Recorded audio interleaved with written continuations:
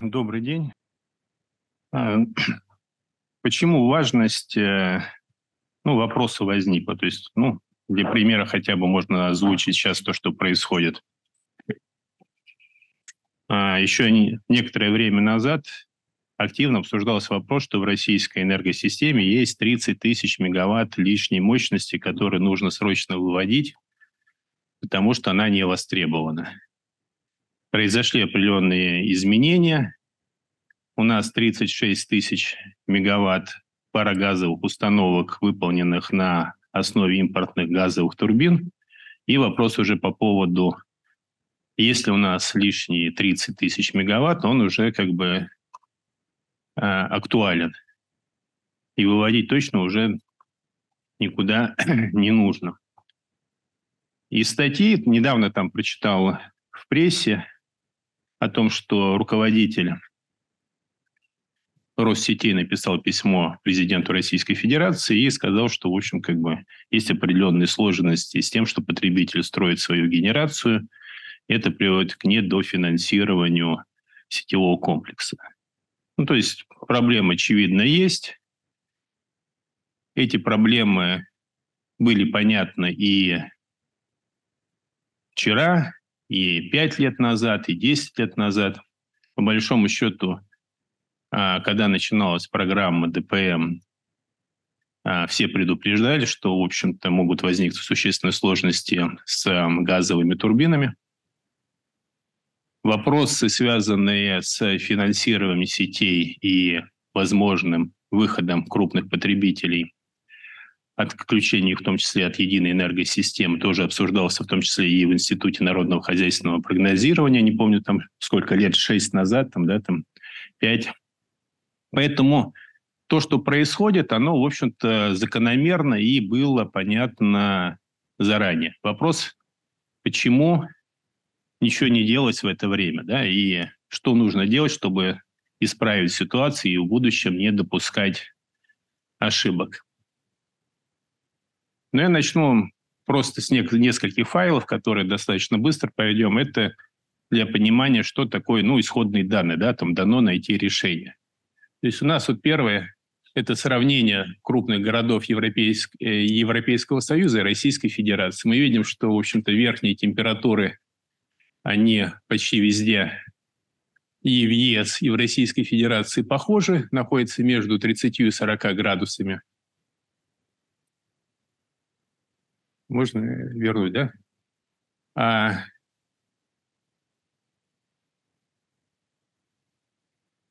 а нижние температуры в Российской Федерации в крупных городах, соответственно, значительно ниже. Понятно, там последний город – это Якутск, а первый – Сочи. Но в целом, в общем, на, большинстве, на, России, на территории Российской Федерации мы имеем суточную, ну, то есть температурную неравномерность в течение года значительно более широкой, чем в Европейском Союзе. Средняя годовая температура значительно ниже, чем в Европейском Союзе. Поэтому, когда предлагается сравнивать с какими-то достижениями энергетики Европейского Союза, мы должны к этому хорошо относиться, внимательно, но понимать, что у нас, собственно, другие климатические условия. При этом при прочих равных условиях, если мы захотим сравнить коэффициент использования установленной мощности в Российской Федерации, то он должен быть значительно ниже, чем в Европейском Союзе. Ну и просто из-за того, что у нас более широкий температурный диапазон.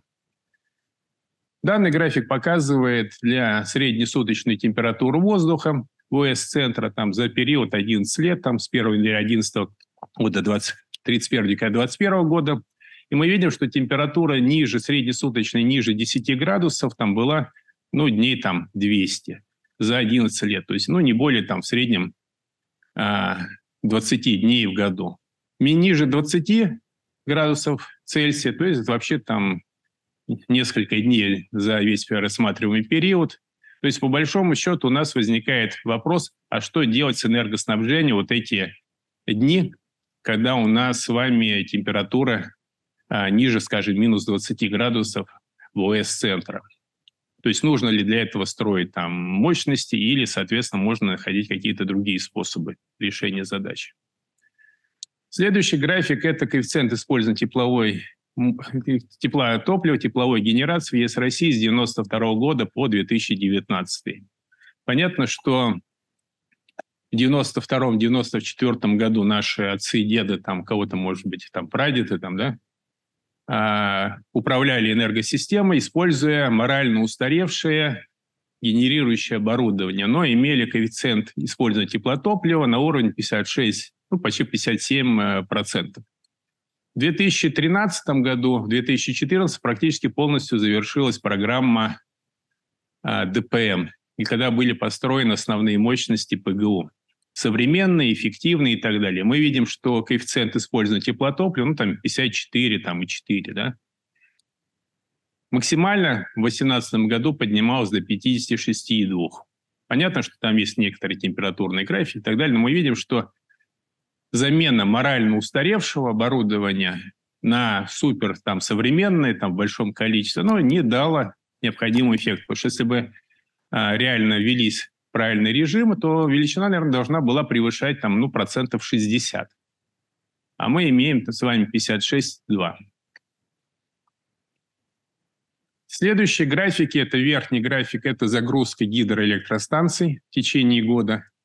И мы видим, что гидроэлектростанции работают не в течение всего года, могут предоставлять регулировочный диапазон, на который там все ссылаются, а вот гидроэлектростанции пусть ведут режимы в период э, паводка, период нереста, мы видим, что, собственно, регулировочный диапазон гидрогенерации практически равняет, ну, очень небольшой. Эта вот величина вся в европейской части Российской Федерации, она характеризует гидроаккумулирующую станцию э, Загорскую, там небольшую на юге, и несколько небольших гидростанций, которые могут вести режимы там на юге все гидростанции Волжского каскада, включая и электростанции, э, построенные на, соответственно, притоках Волги, они работают в базе, не предоставляя регулировочного диапазона. Более низкий – это вот э, график загрузки атомной генерации там, за этот же период времени. Следующий вопрос, который принципиально важным, является суточный график потребления электрической энергии. Это опять данные для европейской части, там Урал э, включает. И мы, соответственно, видим, что по факту на экране э, левый график – это потребление промышленных предприятий. А направо – это гарантирующих поставщиков, то есть это население, мелкомоторка и так далее. То есть внедрение двуставочной модели рынка привело к тому, что у нас, в общем-то, график выровнялся. И даже в ночной период времени, когда, собственно, существуют определенные проблемы, у нас где-то там на 1 гигаватт электрической мощности промышленность потребляет больше, чем а, а, днем. Да? И это к вопросу о том, нужно ли там заниматься дополнительно а, управлением спроса, когда можно, в принципе, решать эти задачи через формирование правильных сигналов на уровне а, модели. То есть у нас неравномерный суточный обеспечивается, по большому счету, населением, мелкомоторкой, а, которая находится в достаточно крупных городах. Ну и, соответственно, сейчас приступаем к вопросу а, системного подхода. То есть системный подход ну, включает в себя вопрос анализ именно системы. И начнем мы с Конституции Российской Федерации. Да? То есть есть преамбула. Мы много, многонациональный народ Российской Федерации, стремясь обеспечить благополучие и процветание России, исходя из ответственности за свою родину, перед нынешними и будущими поколениями принимаем Конституцию Российской Федерации. Статья 7 говорит о том, что Российская Федерация – социальное государство. Статья 8 говорит, что в Российской Федерации гарантируется единство экономического пространства, свободное перемещение товаров, услуг, финансовых средств, поддержка конкуренции, свобода экономической деятельности. И вот статья 75.1, которая была новая, в ней говорится о том, что в Российской Федерации создаются условия для устойчивого экономического роста страны, повышения благосостояния граждан, там, ну и так далее. То есть, по большому счету, нам для дальнейшего анализа нужно понимать, что у нас в Российской Федерации это государство, оно социальное, у него есть обязанности, и, в принципе, у него есть огромные полномочия для принятия тех или иных решений. Там в Конституции есть э, разделение там, федерального уровня, регионального, ну и так далее. Стратегическое планирование текущее, что у нас в Российской Федерации, соответственно, здесь, к сожалению, многие, те, кто занимается даже разработкой разных документов стратегического планирования, не знают, что у нас есть закон о стратегическом планировании Российской Федерации, в соответствии с которым идет, осуществляется стратегическое планирование на федеральном уровне, уровне субъектов и уровне муниципальных образований. При этом в законе четко прописано, что предполагается согласованность и сбалансированность документов стратегического планирования по приоритетам, целям, задачам, мероприятиям, показателям, финансовым ресурсам и срокам реализации, синхронизацию горизонтов прогнозирования, целеполагания и планирования. То есть это закон Российской Федерации о стратегическом планировании к стратегическим документам, определяющим развитие электроэнергетической и теплоэнергетических систем, относятся на федеральном уровне. Это энергетическая стратегия Российской Федерации, генеральная схема размещения объектов электроэнергетики, схема и программа развития ЕС России, там СИПР и ЕС. Ну, сейчас там с прошлого года а, это СИПР, схема и программа развития электроэнергетической системы России. На региональном уровне выполнялись там разные работы, но вот Основной документ – это схемы программы развития электроэнергетики субъектов Российской Федерации. Это действовало до конца 2022 года. Сейчас это передано системному оператору, фактически выполняется на федеральном уровне в рамках вот то, что я сказал, там схемы программы развития электроэнергетических систем. И муниципальный уровень. Программы комплексного развития коммунальной инфраструктуры поселений городских округов, схемы теплоснабжения, схемы электроснабжения. Принципиальным вопросом, когда мы говорим с вами о стратегическом планировании, даже вот в Советском Союзе, когда смотришь там документы, читаешь а, по планированию, там есть термин платежеспособный спрос. То есть в Советском Союзе при всем а, госрегулировании, планировании и так далее термин платежеспособный спрос использовался. Если посмотреть текущую картинку по стратегическому планированию, то платежеспособный спрос появляется только на муниципальном уровне, где, соответственно, существует требование проведения анализа доступности коммунальных услуг населению. Ну и там, соответственно, еще отдельно это влияние тарифов на, соответственно, потребителей, то есть изменения. На уровне федеральном энергетической стратегии основная сложность, которой там нет потребителя. То есть там есть красивые слова, но по большому счету платежеспособного спроса никогда не было. То есть, в принципе, есть некие энергетические ресурсы, которые вырабатываются различных там в топливном хозяйстве, а, в генерации, и которые должны почему-то быть кем-то потреблены, да, но забывается, что за это нужно оплатить. А если, соответственно, платежеспособный спрос на данные услуги, на то, что заложены цели, там, да, скажем, в энергетической стратегии или нет, и что нужно сделать для того, чтобы обеспечить платежеспособный спрос, ну, этого нет. Да, то есть в отличие там, от тех же там, китайцев, да, в которых, соответственно, активно работали на формировании платежеспособного спроса внутри Китая для того, чтобы снизить зависимость от э, экспорта. Дальше следующий вопрос, принципиально важный для стратегического планирования. Энергетическая стратегия Российской Федерации разрабатывается на 15 лет. Ну, генеральная схема сейчас там на 18 лет. СИПРО ЕС разрабатывался раньше на 7 лет, сейчас вот объединенный на 6 лет. Схема а, региональные программы развития электроэнергетики разрабатывались на 5 лет. Программа комплексного развития систем коммунальной инфраструктуры на муниципальном уровне разрабатывается фактически на 15 лет на действие градостроительного плана, то есть поселения и городского округа на этот же период разрабатывают схемы тепло- и электроснабжения. То есть у нас получается смешная картинка, что документ верхнего уровня иерархии, энергетическая стратегия на 15 лет вперед дает информацию только общую, ну, то есть в определенной степени пожелания. А в схеме теплоснабжения, в схеме электроснабжения разработана детально на эти 15 лет загрузка каждой турбины, каждого котла, четкое понимание, откуда и какое топливо, соответственно, будет использоваться. Определены тарифы, определены инвестиционные программы и все остальное. То есть, по большому счету, получается, что на федеральном уровне на тот же самый период прогнозирования точность и конкретизация цели, она на самом деле слишком общая, в отличие от того, что делается на муниципальном уровне. Понятно, что это противоречит том числе и закону о стратегическом планировании, ну и, в общем-то, логике а, стратегического планирования. Понятно, что федеральный уровень должен быть несколько, горизонт прогнозирования несколько дальше.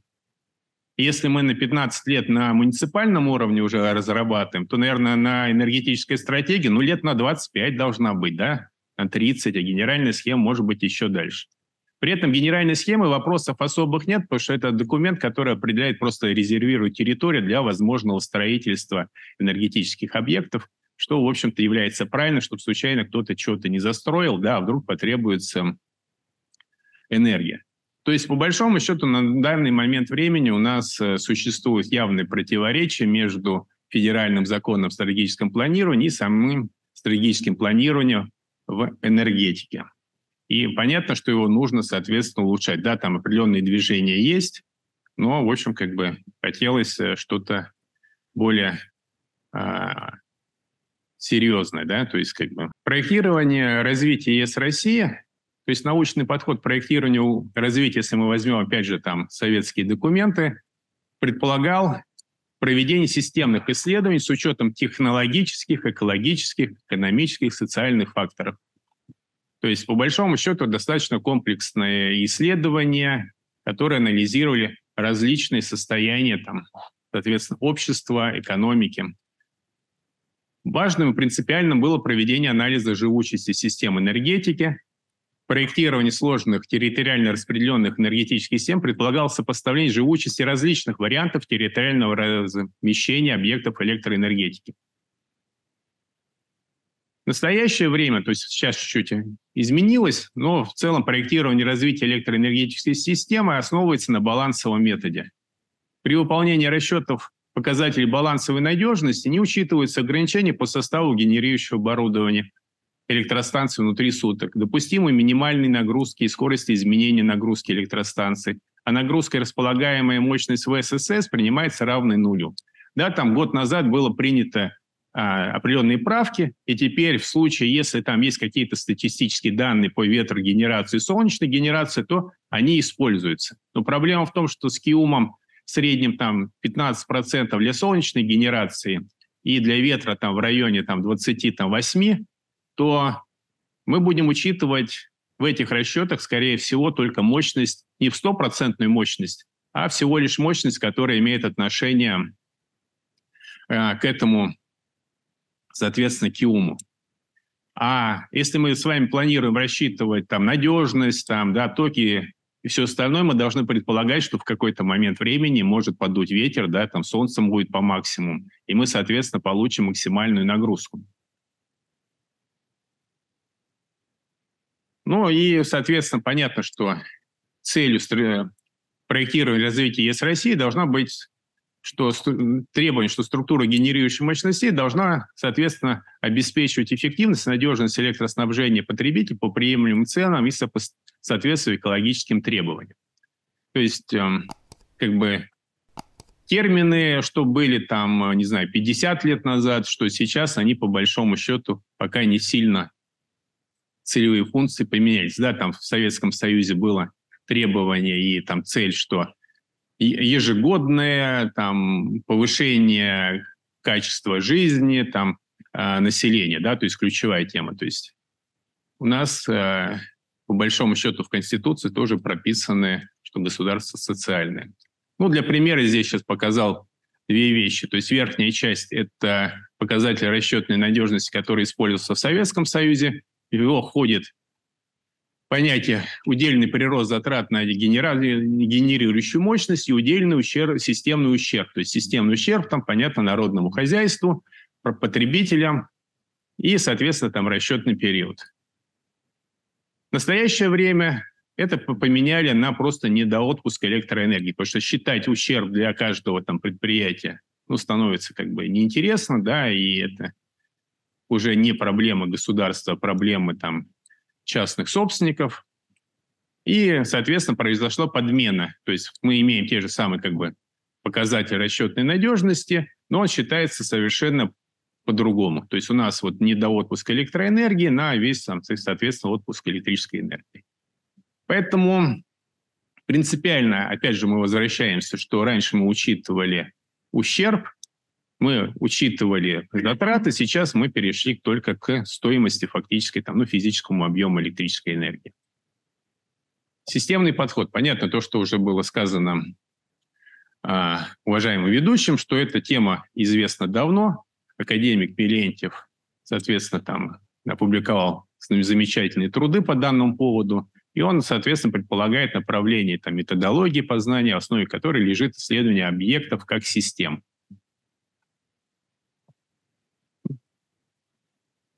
Что ключевой там? В Советском Союзе оптимизация выполнялась на базе народно-хозяйственного эффекта, выраженного в денежном выражении. Да? То есть эта позиция академика Милентьева была, что нужно выражать все в денежном эквиваленте, это является правильным. И, в принципе, в тот период времени, наверное, это было действительно правильным. А, дело в том, что за 30 лет, скажем, в Советском Союзе тарифы на электрическую энергию для промышленности и для населения менялись всего два раза. Поэтому, в принципе, да, если у вас есть некие цены постоянные, почему, собственно, не переводить все в денежные выражения?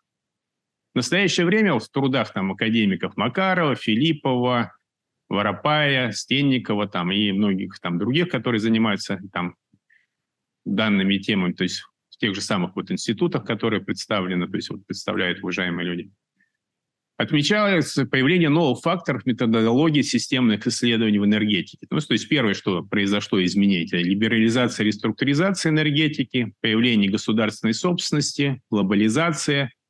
Ну и, соответственно, вот академик Филиппов оказывал там в своих работах на кадровые ограниченность кадрового ресурса, да, то есть фактически о том, что осталось очень мало научных Организации, которые способны обеспечить управление технологическим развитием энергетики, его прогнозировать и так далее. В своем докладе я попытаюсь ответить на некоторые вещи и предложить какие-то механизмы решения вопросов.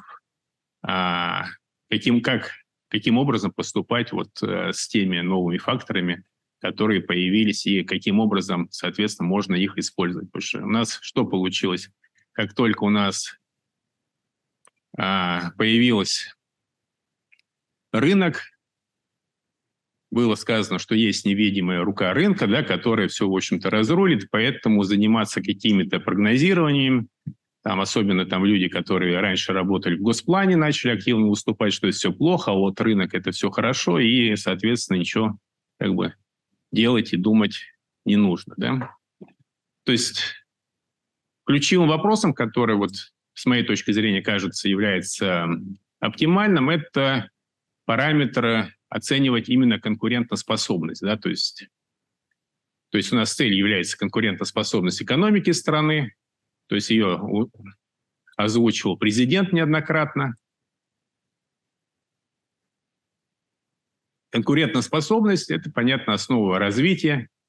И конкурентоспособность – это э, способность определенного объекта или субъекта при взойти конкурента в заданных условиях. Национальная конкурентоспособность и способность страны добиться высоких темпов экономического роста, которые были устойчивы в среднесрочной перспективе. Ну и основа конкурентоспособной экономики – это конкурентоспособная промышленность. То есть, по большому счету, ну, вот есть определенные термины, да, и которые определяют конку- конку- разные там, кон- конкурентоспособность, национальную и так далее. Дальше, если мы вспомним с вами классическую экономическую теорию, но она, в общем-то, должна быть известна и тем, кто изучал марксизм-ленинизм, да, в работах там три источника, три составные части, и тех, кто уже после изучал э, экономику рыночную, да, и она, соответственно, определяет э, развитие экономии, экономики отдельных стран и место стран международной системе разделения труда определяется ее конкурентными преимуществами, да, которые могут быть объективными и искусственными. Объективные – это климатические, географические, там, природные, искусственные, там, как у нас сейчас низкая зарплата, там, в каких-то странах, там, наоборот, низкие налоги, кредитно-денежная политика, наличие технологий там, и другие. Ключевым фактором, что произошло в настоящее время, нужно отметить, что деньги, то, что я, в принципе, здесь выступал, там, не помню, там несколько лет назад, что деньги поменяли свою первоначальную сущность, облегчать товарообмен и стать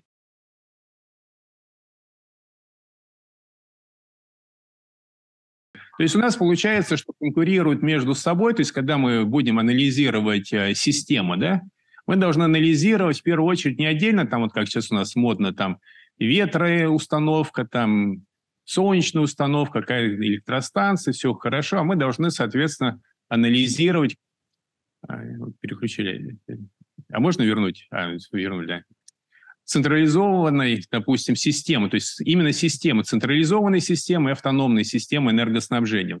Мы смотрели в Германии, то есть после ввода там а, платежей за выбросы СО2 то есть поддержка зеленой генерации, промышленным предприятиям стало невыгодно, им стало гораздо проще отключиться от единой энергосистемы, перейти на автономные источники и потреблять электроэнергию там, э, от своих источников, работающих на газе. И понятно, что в первую очередь ушли те, кто работает в три смены. Ну, потому что ровный график, и в этом смысле все неплохо окупается. Но это закончилось тем, что были вначале приняты жесткие меры, которые ограничивали возможность потребителя уйти и отключиться от энергосистемы. В конечном итоге дали бы скидки. Мы это ниже тоже там посмотрим, там график. Дальше мы при анализе должны рассматривать разные системы энергоснабжения на базе разных технологий. Когда мы говорим, опять же, там ветер, солнце и так далее, то мы э, забываем о том, что для того, чтобы работал ветер там, да, и солнце, они влияют э, необходимость э, накопителей, да, там, соответственно, влияют на системы э, электропередачи. То есть, соответственно, там снижение киума потребует э, большие как бы, пропускные сечения. То, что не учитывается, ветер и солнце влияет на, соответственно, генерацию, ну, то есть на баланс реактивной мощности в энергосистеме в отличие там, потому что они выдавливают из баланса тепловую генерацию с генераторами, способными работать и не только там генерить реактивную мощность, но и потреблять одновременно. То есть у нас просто, вот, э, может быть, уточню, что у нас с вами есть полный вектор мощности, который вырабатывает э, генерирующая компания. у нее есть две проекции. Одна там это активная мощность, вторая реактивная. По большому счету система координат, понятно, она придумана, она удобная для выполнения расчетов, но с точки зрения э, энергетики это, в общем, как бы проекция одного вектора. Да, их сейчас разнесли там на две части, одну контролируем, другое вообще о нем забыли в значительной степени, и возникаем проблем. Но это как бы опять же чуть дальше. Автономных энергосистем на базе разных технологий. Тоже у нас есть как бы автономная энергосистема, которой можно там обеспечить, э, соответственно, электрической энергией, теплом.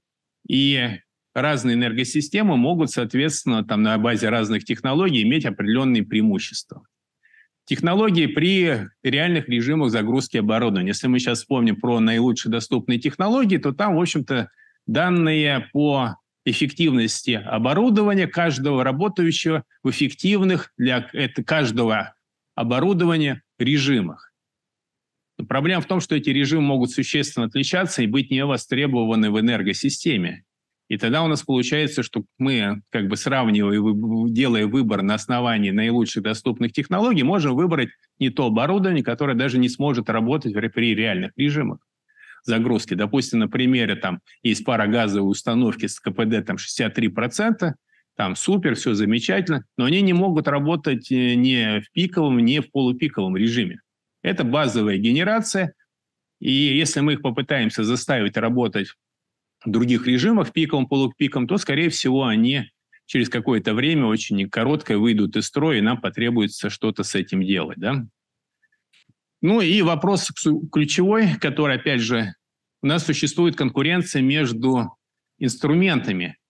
И там чуть позже, там на следующий слайд покажу, что это рынок, его срегулирует, с моей точки зрения, это инструменты, а, которые должны позволить решить задачи, достичь определенных целей. И между ними они тоже могут конкурировать.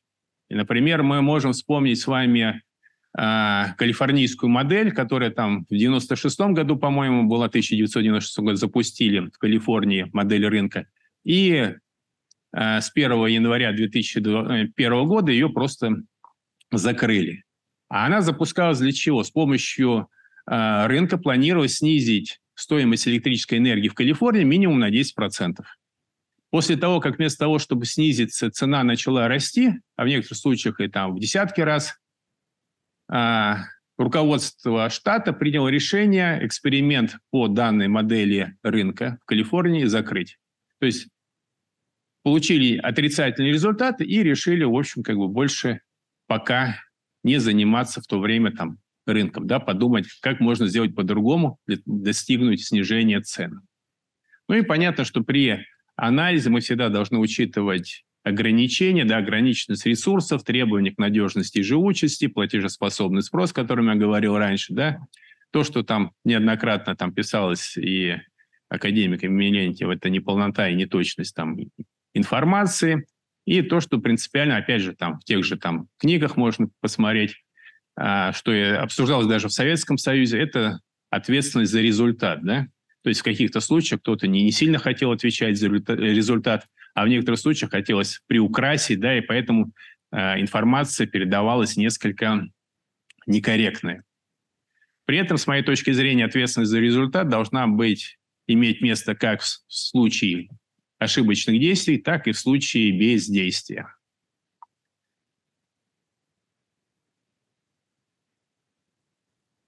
Рынок и госрегулирование. То есть вот с моей точки зрения рынок, рыночные методы и методы госрегулирования являются лишь инструментом достижения поставленной цели. В разное время, в разных условиях и преимущество может приходить одного инструмента к другому. То есть, в принципе, эту тему тоже обсуждал на одном из семинаров в Институте народного хозяйственного прогнозирования. Смотрите, в чем тонкость.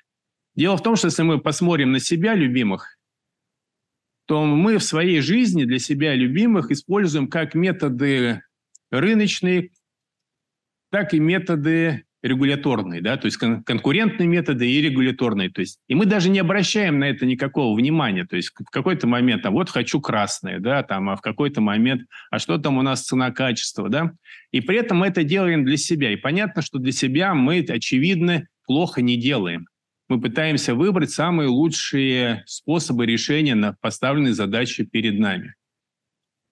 А приходя там на работу, да, мы почему-то становимся либо только рыночниками или только, соответственно, там э, теми, кто там за госрегулирование. Вот э, с моей точки зрения, у нас, соответственно, должна быть поставлена задача. Предположим, мы хотим построить дом. То мне, честно говоря, без разницы, какими инструментами будет э, а, одна группа там строителей или там вторая группа строителей пользоваться. Мне главное, чтобы они обеспечили качественно, в сроки построили дом. А если строители вместо того, чтобы строить дом, будут ходить на митинги, поднимать транспаранты, что вот мы там за мастерок, мастерок наше все, или там мы там за ножовку, там то, понятно, это отвлекает их от строительства дома. И в конечном итоге мы дом можем никогда и не построить, то есть вся наша энергия уйдет на, соответственно, обсуждение, какой инструмент лучше. Понятно, что если мы считаем, что это инструменты, рыночные инструменты и инструменты госрегулирования, то ответственность за ошибки то есть ошибочное использование инструмента, повлекшее несение экономического ущерба, должно быть одинаковым для равного ущерба и не зависеть от используемого инструмента. Нас же не интересует, по какой причине там топором там что-то рубанули, да, или там, соответственно, там, не знаю, ножовкой там не там отпилили, да. Ущерб нанесен, соответственно, ответственность должна быть одинаковая. У нас, к сожалению, получается следующее, что принимая рыночные, как бы запуская рынок, да, мы как бы говорим, а вот за это теперь никто не отвечает. А если там мы занимаемся госрегулированием, у нас получается другая картинка, что ответственность есть. Ну и понятно, что в настоящее время у нас огромное количество людей, а, считающих себя рыночниками, но по сути в большинстве случаев это защитная реакция, да, но если вот используя один инструмент, можно ни за что не отвечать, ну, как бы нормально, давайте я буду таким уважаемым рыночником. Если вести ответственность за экономический ущерб, И частично, в принципе, мы видим в некоторых развитых странах экономической, что если там есть провал экономической политики, то кого-то отправляют в отставку, да, там и так далее, то, соответственно, у нас, очевидно, будет количество рыночников, наверное, будет гораздо меньше, чем сейчас. Понятно, что ключевое отличие государственного регулирования – это средневзвешенная цена, а в случае там, рынка – это маржинальная цена. В идеальном случае, а, если у нас есть эффективное госрегулирование и эффективный рынок, то нагрузка на экономику в рамках государственного регулирования будет меньше. Одним из вопросов, которые вот э, сейчас вот сталкиваюсь, э, вижу там и статьи в научных журналах, и люди там часто на конференциях выступают, что нам нужны новые модели рынка. Вот хороший рынок – это одного покупателя, одного продавца. Но проблема в том, что у нас 4 федеральный оптовый рынок электрической мощности, по сути, и был рынком одного покупателя одного продавца. Если вы приходите и предлагаете, давайте мы ведем вот этот рынок, ну, нужно сказать, что рынок, который действовал, да, там было госрегулирование, да, ну, по большому счету, что покупатель будет назначать цены, что, соответственно, государство назначает цены экономически обоснованные. По сути, это как бы большой разницы нет. Мы с вами получаем а, картинку, что надо сказать, о чем был плох, почему, соответственно, там, от ФРМ, допустим, отказались. Да? После ФРМ был запущен рынок 5.15. Это рынок потребителей. У многих есть иллюзии по поводу того, что вот РАО из России тогда победила, всех проломила и так далее. Нет. Ну, РАО точно не проиграла, но точно не победила. То есть в этот момент времени был конструктивный диалог между потребителями и генерацией. Рынок 5.15 был рынком потребителей, ключевая задача которого стояла запустить часовое планирование потребления электрической энергии потребителям. Если умеете планировать, то вы, соответственно, будете выравнивать график. Если вы посмотрите вот предыдущий график, который я показывал, где там промышленность выбор, а, выровняла свой график, ну, это как бы результат вот запуска первоначального рынка 5.15. Но РЭМ – это новый оптовый рынок, который сейчас называется просто РЭМ, это рынок генераторов. Почему а, потребители, которые только что отстояли свои права там на а, рынок, да, и не допустили там калифорнийскую модель, да, почему они согласились на переход э, на генераторов, рынок генераторов, я, честно говоря, не совсем понимаю, но это как бы их право.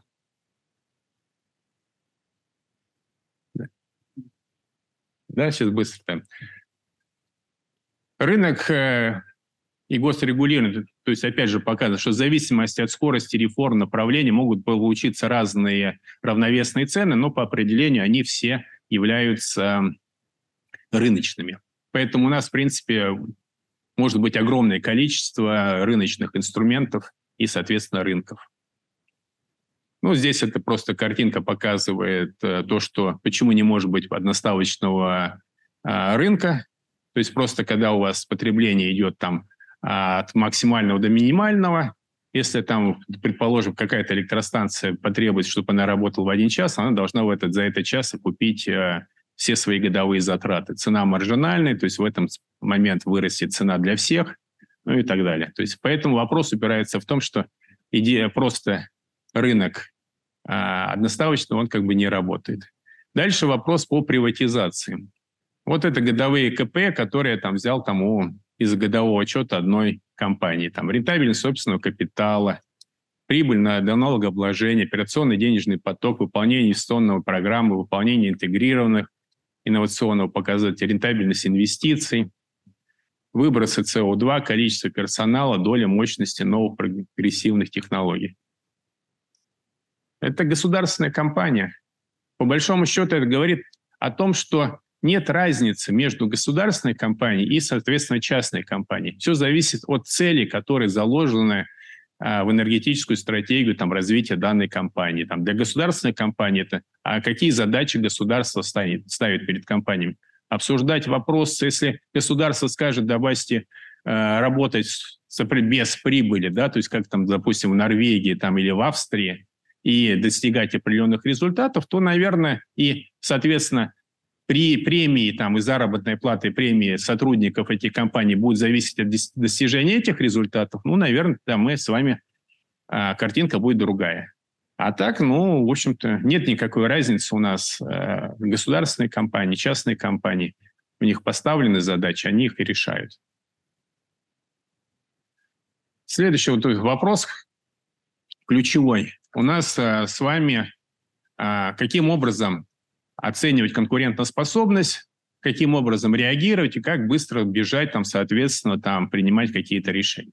У нас а, ключевая тема сейчас во всю, по всему миру – это климатическая повестка. И вопрос следующий. Нужно ли нам прыгать в уходящий, там, последний там, вагон уходящего в неизвестном направлении поезда? Вот есть Соответственно, указ президента обеспечить к 2030 году сокращение выбросов парниковых газов до 70%, относительно 0 на 90 год с учетом максимально возможной поглощающей способности лесов и иных экосистем при условии устойчивого и сбалансированного социально-экономического развития Российской Федерации. То есть, знаете, в указе четко указано, что максимальная возможность поглощающей способности лесов и иных экосистем. Рисунок, который ниже, он показывает некую область, которая связана с зарастанием брошенных неиспользуемых сельхозугодий в Российской Федерации. Это там на данные на 2015 год были взяты. Сейчас должно зарасти больше. График следующий, то есть линия 1 – это бонитет. Ну, то есть существует 5 бонитетов э, развития леса. То есть самые лучшие это условия климатические – это один, второй там, самый худший – пятый. Вот линия 1 – это, соответственно, первый бонитет. Линия 2 – это бонитет номер 2. Ну, учитывая, что это сельхозземли, там, в принципе, это не болото, там растет все хорошо. Я уточнял это со специалистами, которые занимаются лесным хозяйством. А 40 и 100 процентов, это 40 процентов было на 15 год, их заросло этих земель, и, соответственно, там предполагаю, что к 2020-2022 году зарастет 100 процентов. То есть внутри данного а, четырехугольника. Это возможные варианты поглощения углекислого газа заросшими, то есть э, лесами, вот неиспользуемыми сельхозугодьями. То есть это молодые леса, нельзя сказать, что они там старые, поэтому и мы их не будем считать. Молодые леса, у них очень хорошая продуктивность. И мы видим, что 3 и 4 – это поручение президента. 3 – это на, соответственно, там фактически данные там, на 2021 год, 4 а, это если там на 30-й год. Но мы видим, что если мы просто посчитаем поглощение этих лесов, которые возникли на неиспользуемых сельхозугодиях, то мы, соответственно, с вами уже выполнили поручение президента Российской Федерации. А вот цифра 5, она показывает линию, которая соответствует углеродной нейтральности экономики Российской Федерации. То есть с большой вероятностью мы можем оказаться в ситуации, что мы уже и экономически э, эко, э, нейтральны по выбросам парниковых газов. То есть, в общем, надо только посчитать и дальше, соответственно, доложить, да, отчитаться президенту. И, в принципе, это хорошая позиция, которая может быть при переговорах Российской Федерации там, с другими странами.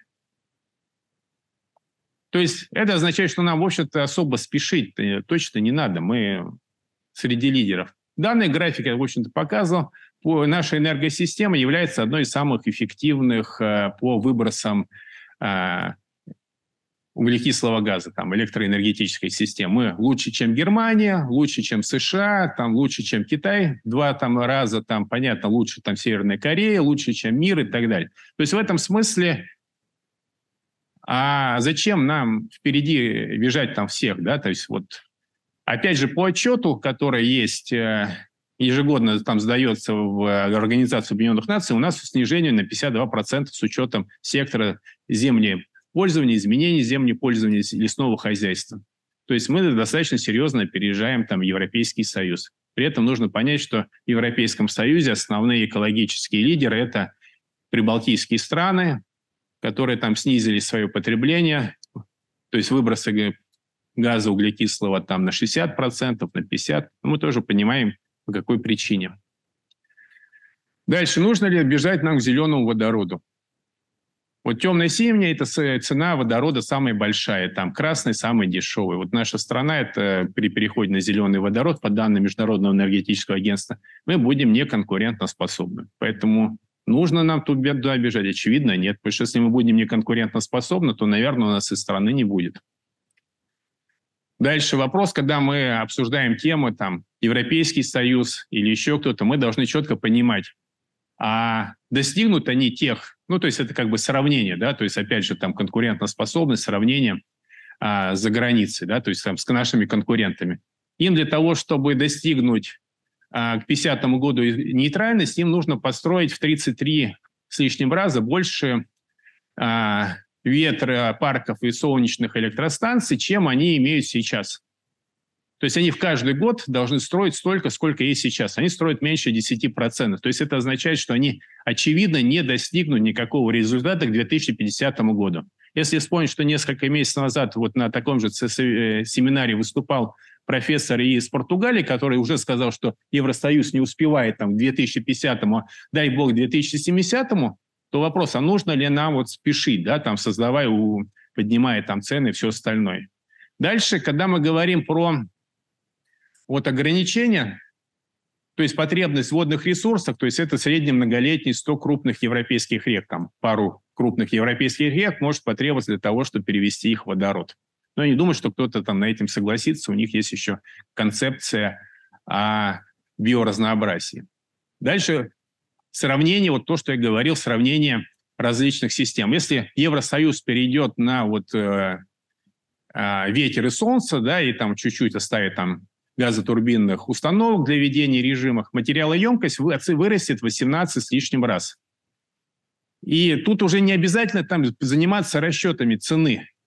Мы можем с вами сказать, что централизованная система, энергосистема на базе, соответственно, ветра и солнца, она, скорее всего, проиграет в конкурентной борьбе той системе, которая сейчас просто 18 целых 18 раз нужно больше материалов. При этом не просто материалов, а там много материалов специальной химии, редкоземельные металлы и так далее.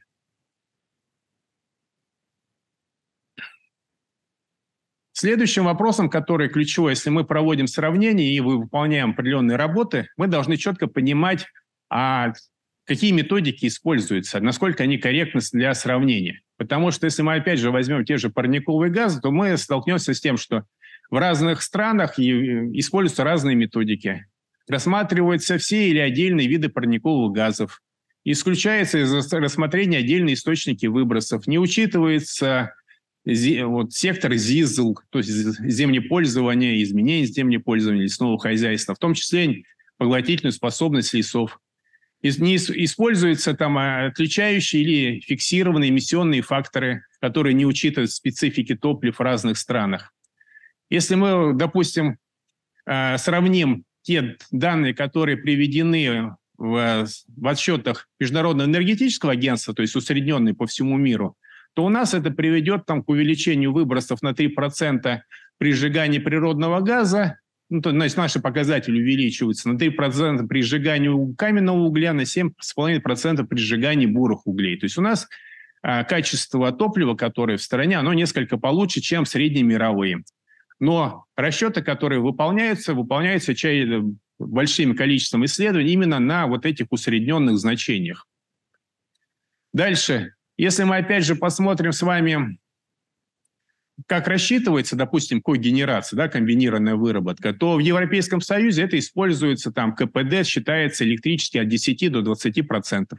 У нас с вами ПГУ ТЭЦ работают КПД там 50 процентов. То есть это, опять же, то есть они нормируют, и это приводит к увеличению наших выбросов относительно реальных. Поэтому принципиальным вопросом является, вот, допустим, еще термины там по лесу. У нас э, термины по лесу до сих пор определяются с точки зрения их срубить и продать, а не с точки зрения там, их эффективности э, по поглощению там, углекислого газа и так далее. Вопрос энергоемкости. Вот у нас, опять же, там в стратегии там написано снижение энергоемкости там, на 40% электроемкости. Замечательно. Но Опять же, мы взяли европейские параметры, и мы не учитываем, что для стран-импортеров энергоресурсов, стран-экспортеров энергоресурсов это разные, соответственно, параметры, характеристики. В данном случае для импортеров они, ну, соответственно, отношение а, стоимости электроэнергии там в период там и там, да, там к начальному, ну, равняется единица минус вот это соотношение, да, то есть как бы мы цену, предположим, что цена не поменялась, изменение объема потребления, мы получаем некий коэффициент. Если мы возьмем для стран-экспортеров, я здесь, опять же, выступал через условно, ну, раньше там на семинаре, опять же, на, этом, на таком же. Если взять условно постоянные, условно переменные и учесть, что, в общем, как бы, если у вас по электрическим сетям бежит электроэнергии, стало бежать там в два раза меньше, то тариф у нас устанавливается делением на объем электроэнергии, в два раза стал меньше переток, значит, цена увеличилась в два раза больше. То есть мы получаем с вами если провести расчеты, там в статье, в принципе, в конце там написано, какие можно прочитать, а, мы получаем только изменения на а, НДПИ, налог на добычу полезных ископаемых и на величину. Но если вдруг государство не захочет терять налоги, да, там Министерство э, финансов скажет, да, я не хочу, то есть снизилось, я хочу поднять налог, тогда, соответственно, скорее всего, цена у нас вообще будет единица. То есть, по большому счету, это разные подходы, и использовать одни и те же подходы для стран импортеров и экспортеров, они дают неправильные э, результаты. Следующий вопрос, который принципиально важен там, при проектировании развития, это зависимость потребления электрической энергии от э, температуры наружного воздуха. А, большой плюс, что системный оператор начал выкладывать э, параметры. Вот эта синяя картинка, то есть это фактически там ну, нарисованы их там коэффициенты, то есть она выглядит так, там за 100% взято при минус 40 градусов потребления, ну и пересчитано на остальную вещь. Но что ключевое? Здесь не учитывается, системный оператор, понятно, он отвечает за электроэнергию, у него специалисты, диспетчеры, именно связанные специалисты по электрике. Они не учитывают а, систему теплоснабжения. Допустим, в Москве система теплоснабжения рассчитана на минус 26 градусов Цельсия.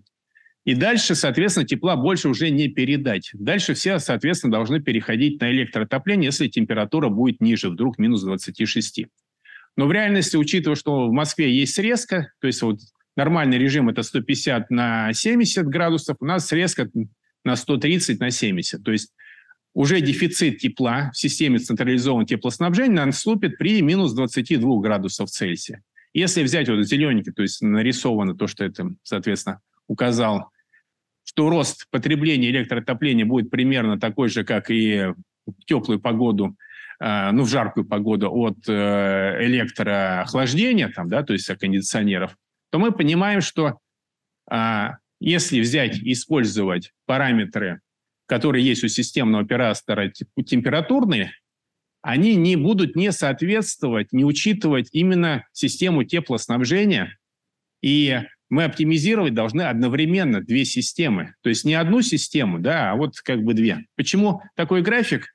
А, ну, просто количество точек ниже там, 20 градусов, как я вам показывал раньше, их очень ограничено. И на их базе построить что-то разумное ну, очень тяжело. Следующий вопрос конкурентности ТЭЦ. У нас есть с вами два метода. Ну, сейчас там третий есть. Физический метод и метод УРГРЭС – разнесение расхода топлива между электрической энергией и тепла. Нужно отметить, что все э, возможные возможности разнесения, они лежат вот на этих отрезках. То есть один отрезок – это по отпуску, один по выработке. И если физический метод мы посмотрим, коэффициент, да, то есть он проигрывает а, наилучшей доступной технологии котельной, да, то есть газовой котельной он проигрывает. Метод Оргресс проигрывает ПГУ. То есть по большому счету у нас получается то, что используемые методы оба, они делают нас, не, дают нам некорректные э, сигналы для развития и проектирования развития энергосистемы. Но мы видим, что эти отрезки пересекают вот этот прямоугольник конкурентоспособности с наилучшими доступными технологиями. Можно точку выбрать там. И в этом смысле тогда у нас параметр будет одновременно быть конкурентоспособны как с наилучшими доступными технологиями раздельного производства тепла, так и с наилучшими доступными технологиями раздельного производства электрической энергии. Хорошо, сейчас. Ну, ветропарк, опять же, он может наносить, известно там, а, когда вы построили ветропарк, то на суше это приводит к росту температуры поверхности Земли, а в море там снижение температуры там на 1 градус. То есть, по большому счету, это сразу происходит, а вот эффект там а, по углекислому газу ну, произойдет или не произойдет в будущем. Дальше в балансы данные, допустим, мы сравниваем Германию, и там Дания нам везде рисует, что это замечательные как бы картинки. Если мы посмотрим, учтем, что а, ветер, когда дует, он не востребован, э, соответственно, внутри энергосистем, отправляется на экспорт, и учтем этот экспорт, мы получаем, что в Германии отношение ветра и солнца, который потребляется именно в Германии, будет 20%, в Дании 16, а не 49. То есть не такие уж впечатляющие цифры. Но тут как считать, какие цифры показывать и что как бы на их основании делать выводы. Ну, здесь это, соответственно, показано, что вот есть официальные данные, где без скидки тарифов для промышленных предприятий, а есть со скидками, да, которые там освобождаются по той же самой Германии. Дальше у нас средняя взвешенная стоимость капитала, то есть вот то, что я говорил, деньги поменяли свою функцию, да, и, соответственно, допустим, в Российской Федерации средняя взвешенная стоимость капитала 15%, в конечной цене для потребителя у нас стоимость денег, стоимость капитала составляет 78%. В тех странах, в которых там 3%, у них 34%, э, там, э, соответственно, процента. То есть у нас разница в стоимости между 15 и 3 процентами ВАК а, соответственно, нового строительства при равной стоимости строительства, в нашей стране будет, соответственно, любое новое строительство, оно дороже там в разы, чем за границей. Здесь вопрос построен, приведенный, вот зеленый это 3% это ВАК, 15% это наш российский, это по курсу переведено, вот синяя линия, да, и мы видим, что в долларах у нас периодически в рамках э, валютной политики, да, то там 30% ВАК, Понятно, что долго существовать наша экономика не может быть конкурентоспособна с, с внешними странами, происходит сбои, девальвации, мы их вот видим, соответственно, там 99-й, да, там и так далее. Этот график показывает, опять же, влияние изменения ключевой ставки ЦБ и курса национальной валюты. Когда у нас поднимается курс национальной валюты, у нас автоматически дорожает там и металл внутри страны, и там, соответственно, там комплектующие, и все остальное, там сервисное обслуживание. А Центробанк автоматически приводит, изменяет ключевую ставку, он автоматически еще повышает стоимость а, ну, э, как бы кредитных ресурсов. Ну, то есть как бы два удара на экономику одновременно. То, что централизованные автономные источники энергоснабжения, там уже говорил, то есть, что если, соответственно, мы будем строить э, исключительно все дорого, исключительно то, что как бы модно, но не нужно нам для энергосистемы, мы придем к тому, что централизованная система будет дорогой, будет неконкурентоспособной, и, следовательно, мы создаем экономический стимул, чтобы потребитель, в первую очередь промышленный, работающий в три смены, ну, как и в Германии, отключался от энергосистемы, от единой энергосистемы Российской Федерации.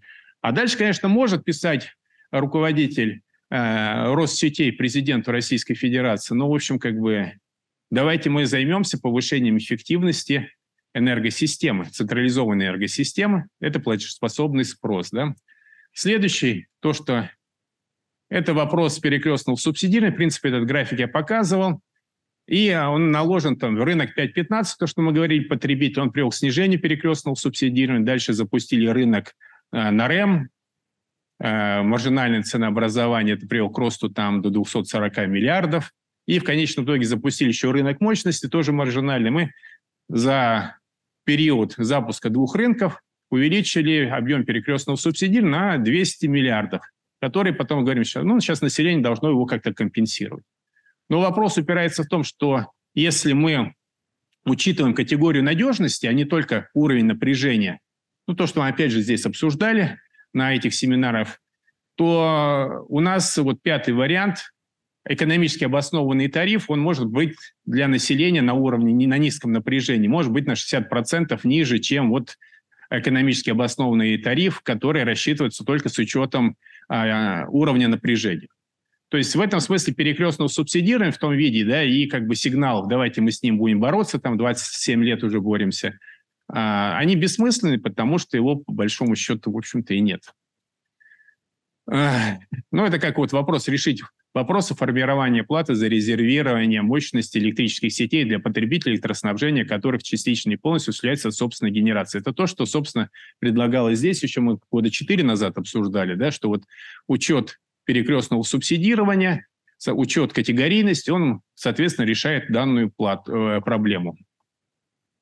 Следующий вопрос – это если мы, допустим, запускаем по выбросу углекислого газа, то есть разделив производство электрической энергии, то мы видим, что если у нас был уголь, 100% мы взяли выбросы, дальше перешли этой же станции с этим же КПД на газ, и снижение произошло на 42% выбросов.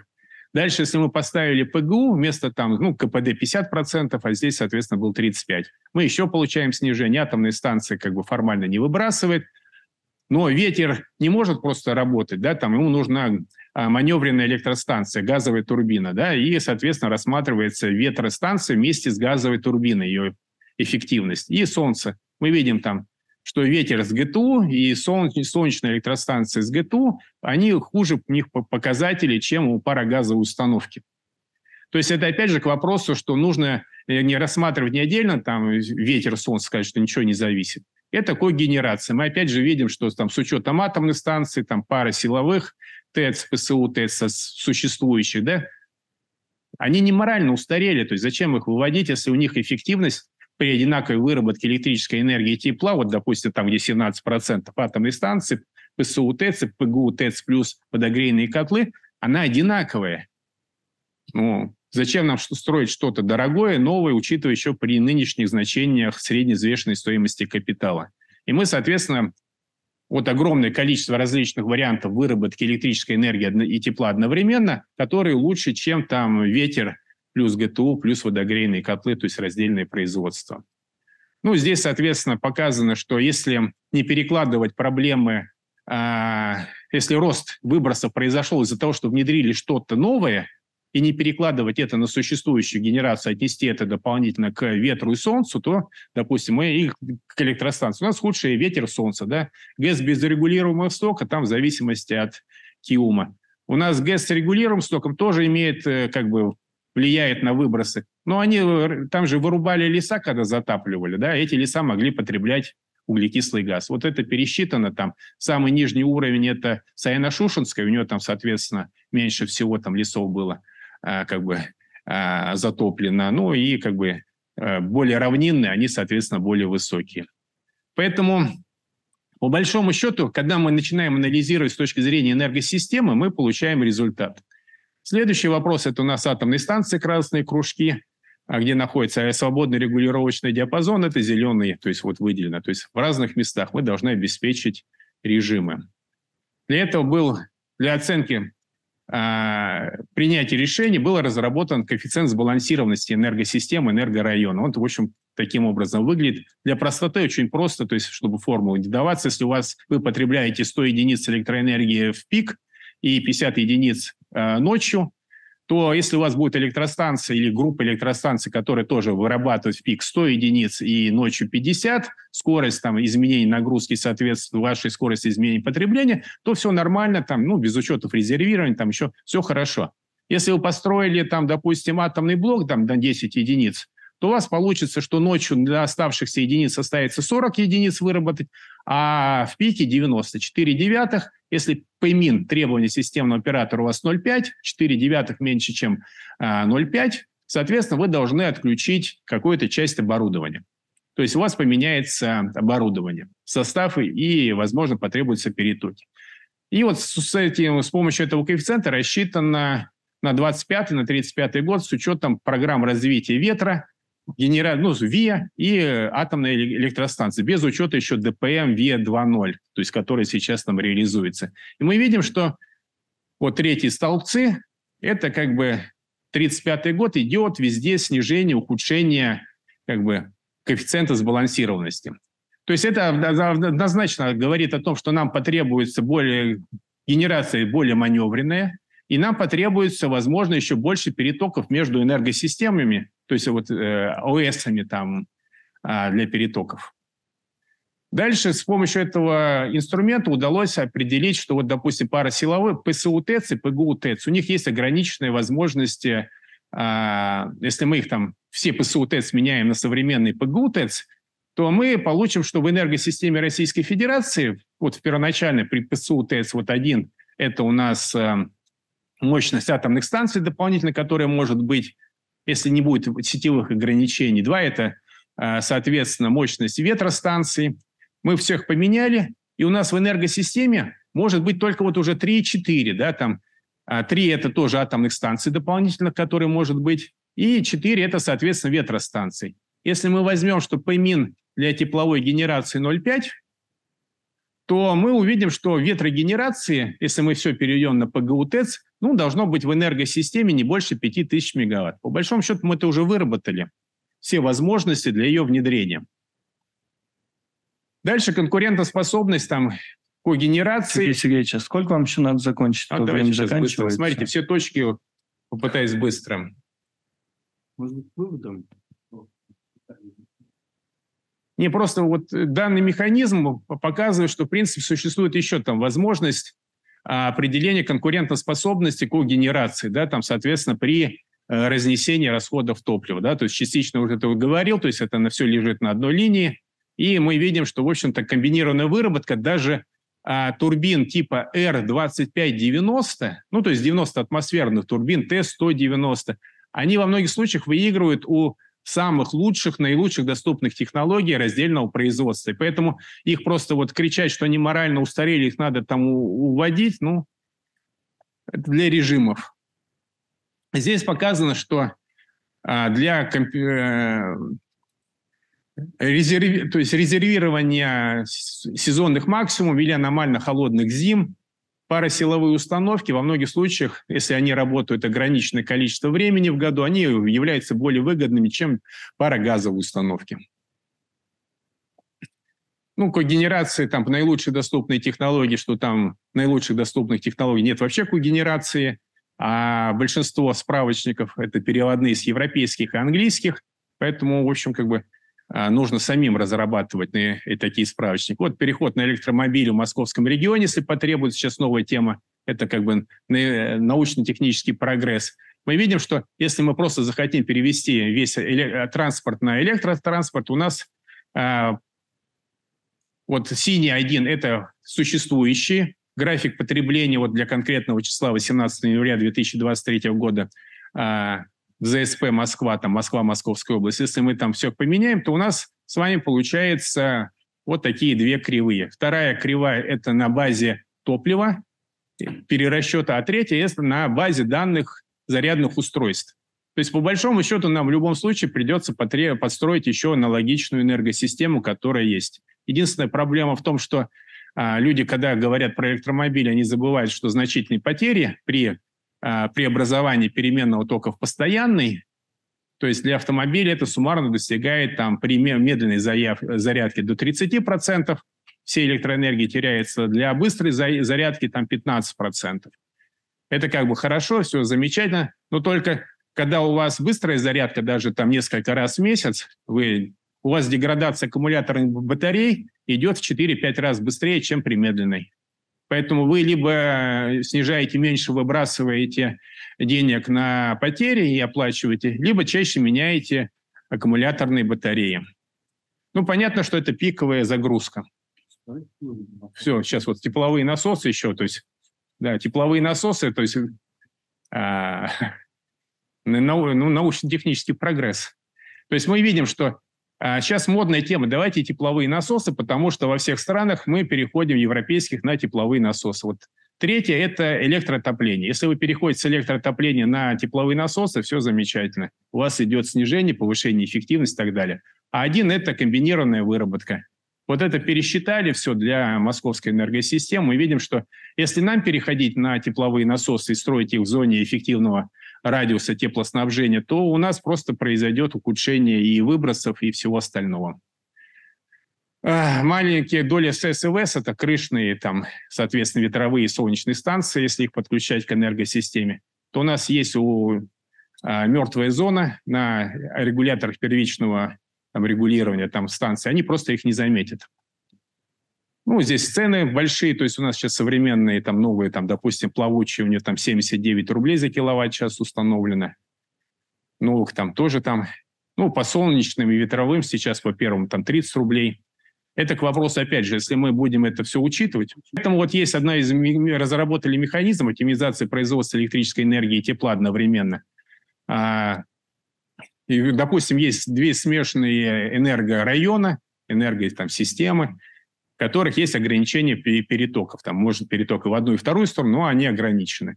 Там внутри каждого есть там атомные станции, гидростанции, кондиционные, ВИА. А ТЭЦ вот эти кружки, это еще радиус, они одновременно обеспечивают снабжение теплом.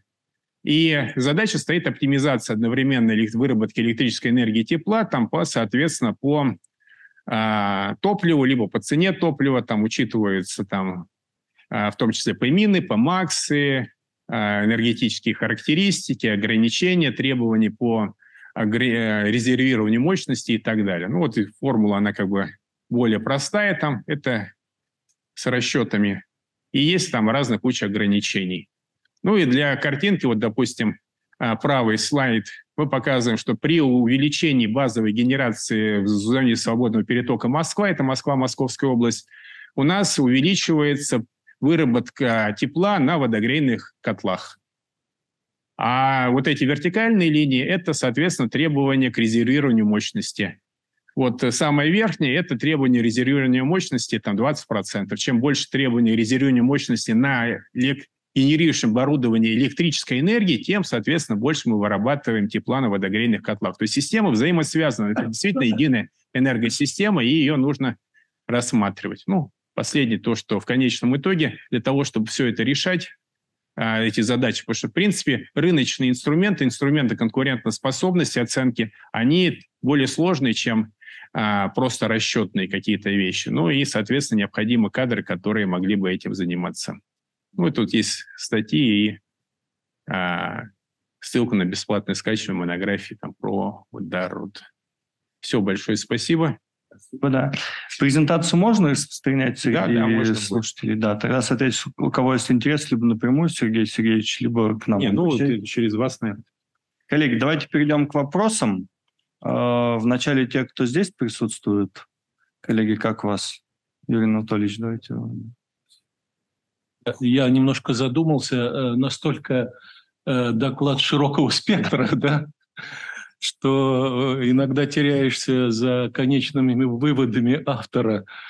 Вот, но, и я себе столько вопросов себе пометил, что скорее всего, ну, будет не, неправильным, если я все буду их задавать. Да? Да, давайте тогда немножко комментарий дам. Смотрите, э, как я понимаю, да, это материалы, которые там лягут в основу докторской, поэтому я предложил бы не к частностям, да, там, а вот, может быть, к системным вещам, тем более было заявлено системные подходы, а, да, ну, хорошо, и да. современные условия. Вот то, как э, автор, вот, ну вот я на этом сконцентрировался, но при этом, Хорошо, понятное но, дело, но, но может удерж... второй круг вопросов. Не, не удержусь там и э, от вопросов для понимания как бы ситуации, потому что вы ее как бы и первое для понимания, там, э, первое вы начали, там, сюжет, первый сюжет, там, с дефицита электромощностей, который был, и так далее, там, ну, и у вас там свое понимание как бы было.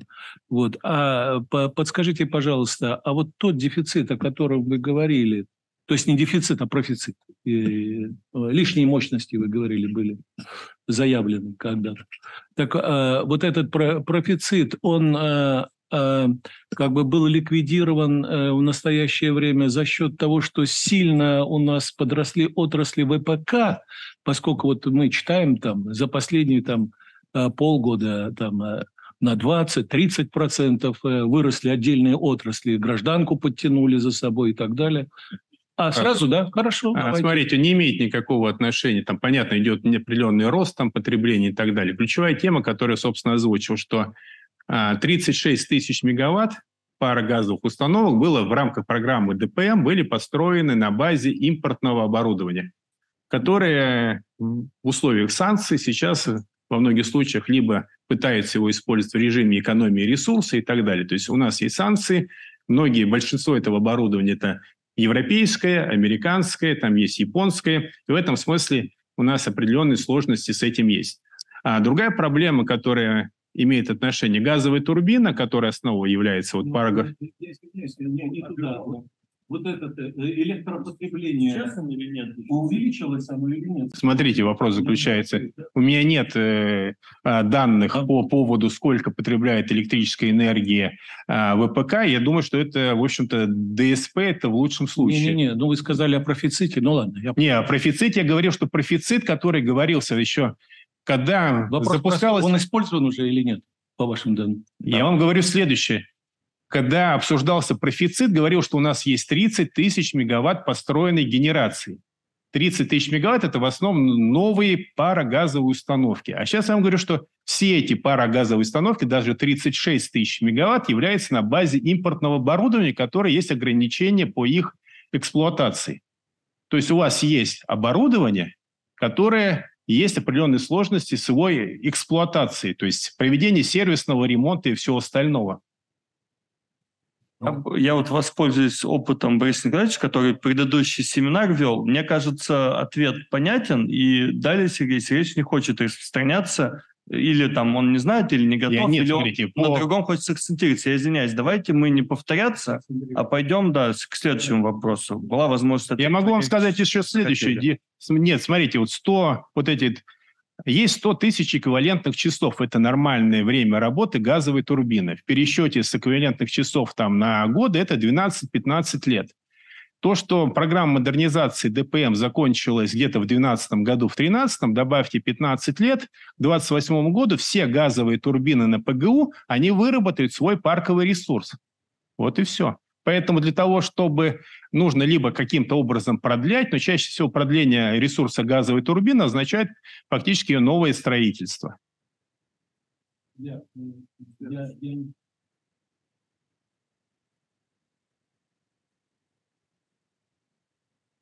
чтобы я понимал, как бы, да, Э, вот э, вопрос мой такой. Вот прошла э, российская энергетическая неделя, я там присутствовал, да, и в частности там была большая секция, связанная там с аккумулированием энергии. Да?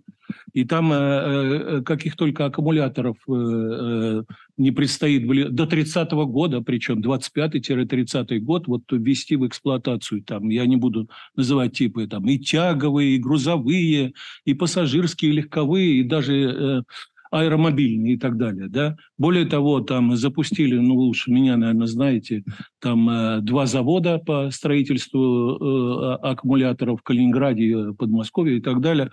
И та, о таких масштабах э, вот докладывалось на РЕН, э, вот эта аккумуляторная тема, э, что у меня возникают сразу вопросы, а Готова вообще э, э, электроэнергетика воспринять э, такие, такие нагрузки большие, которые вот за счет... Да, при, при, при этом там система аккумулирования энергии, цел, цел, целая система аккумулирования для поселков отдельно и так далее. Ну, в общем, грандиозные какие-то совершенно. Это вы ничего не сказали о них, а вы их как-то учитывали? Смотрите, ну, во-первых, там сравнение энергосистемы, там, допустим, по европейской, там, да, то есть где там 18 с лишним раз материалоемкость выше, она там, соответственно, учитывает определенные вещи. А, ключевая тема, которую вы должны, когда вот входите на, вот, на э, эти семинары, там, конференции, все остальное, знаете, всегда задавайте вопрос, сколько это стоит для потребителя. То есть, понимаете, у нас э, планов громадье, а никто же не скажет, что цена там 30 рублей. То есть вот попробуйте найти где-нибудь вот в открытой информации, сколько стоит э, киловатт-час выработки электроэнергии на... Я понял ваш ответ. Я понял ваш ответ. А... Третий вопрос сейчас, а потом, если что, мы вернемся на втором цикле, да. Докторская, вы там оперировали такими там высокими именами, Милентьев, Каров и так далее, говорили о системных исследованиях и, и так далее. Когда вы исследуете вот э, то, что вы исследуете, вы исследуя, э, вы под системными исследованиями имеете в виду анализ систем энергетики, или вы имеете, или вы имеете в виду системный анализ показателей развития? Что вы имеете в виду? Смотрите, там и да. системы, и, в общем-то, показатели, на основании которых нужно принимать решения – а в каком направлении двигается. Потому что, смотрите, у вас э, в конечном итоге до этого расчеты делать, да, народно-хозяйственный эффект. Ну, замечательно посчитали. При этом, если посмотреть там вот эти о, хорошие книжки, да, там написано и как бы разная иерархия, да, то есть, соответственно, системные исследования, они могут проходить на разные уровни иерархии, да, и принятие тех или иных решений. С моей точки зрения, то, что, опять же, видите, э, время я там пытался за час уложиться, не получилось, да, а, в некоторых случаях не обязательно проводить расчеты в денежной форме. Для того, чтобы отказаться от того или иного направления или отодвинуть это направление там в сторону, да, и это как бы как зам... Э, а, резервное да, направление, для этого не, можно сэкономить определенные расчеты. Потому что сейчас в качестве вот альтернативы, которая предлагается, да, вот агентские схемы, да, они, да, там Э, моделирование поведения и так далее. Это все хорошо. Но вопрос упирается в том, что а насколько они точны? И те же вот уважаемые люди, которых я там ссылался, они в своих работах пишут, что по большому счету моделирование не может рассматриваться единственным способом для принятия тех или иных решений. То есть нужны находить какие-то другие еще аргументы и факторы. Да? И вот я как раз вот картинки, которые там, соответственно, показывал, что, да, там, допустим, вы сравниваете одно со вторым, да, и в рамках этого можете четко сказать, что нам не, нет необходимости выводить там парасиловое оборудование из эксплуатации, да, потому что, во-первых, оно дешевле, и, во-вторых, она решает вопросы сейчас. Потому что у нас другая проблема, которая самая ключевая, которую мне не удалось там как бы донести, там, а, у нас э, с вами Оборудование, смотрите, вот эти ПГУ новые, которые построены, да, у нас э, в режиме экономии ресурса сейчас работают. Кто, какое оборудование будет вести электрически, обеспечить нас электрической энергией и теплом? А я отвечу, советское оборудование, которое просто за время вот э, с запуска там 2006 года рынка там и так далее, оно просто постарело на там 15-20 лет. И... Я не буду Спасибо, да. Еще вопрос э, такого содержания. Я с вами полностью согласен. Там вы сюжет приводили, что то, точность э, вот тех э, прогнозных расчетов, которые делаются на местах, в регионах, ну, она гораздо, ну, не точность, что ли, детальность детализация больше, чем тот общий характер, который э, имеется ну, в материалах по прогнозированию, там, на 15 лет э, э, Российской Федерации и так далее, да? Вы как бы так э, говорили, вот есть. Ну, а что же вы предлагаете в результате-то? Да.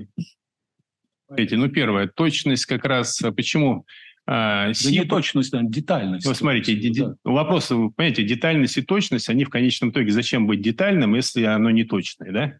Ну, не совсем. Не, ну, вопрос упирается в следующем, то есть если взять все схемы теплоснабжения всех крупных городов а, Российской Федерации да. и их проанализировать, то выяснится, что у нас численность населения в стране должна увеличиться минимум в два раза. Да, правильно. То есть и в этом смысле КПШ каждый город рисует э, свою, как бы, ну, ему да. нужно развивать, рисует там свои как бы вещи, и, соответственно, они не имеют отношения к реальности. Да, если их тратить ресурсы на финансирования вот этих всех мероприятий, мы понимаем, что в конечном итоге численность не увеличится, а нагрузка на потребителей вырастет там минимум там в два раза, да? Нет, я, я это все понимаю. Я же более, более вам хочу сказать. Я когда э, работал в системе управления, да, вот я даже больше вам скажу. Если я все соберу хотелки с регионов, да, и всех сложу, то там по мощностям будет в два раза больше, а по инвестициям в два с половиной раза больше. Никогда такого не было. Ну, хорошо, это вы говорите, критикуете. Ну, вы что предлагаете в результате? Ну, смотрите. Только что четко, да вот... Э, четко как, первое. Как бы без расплывчатости. Я первое утверждаю следующее, что э, платежеспособный спрос у нас ограничен. Да, то, что мы там говорили. Следовательно, мы должны из-за из ограниченности ресурсов... Мы... Хотя, если я буду говорить о категории 15, 15 лет спустя, мы же говорим о перспективе, да, а какой, равно... вы о каком платежеспособном спросе, как вы его сумели спрогнозировать на 15-20 лет? Вы а очень просто, смотрите. Да, конечно. Скажите. А...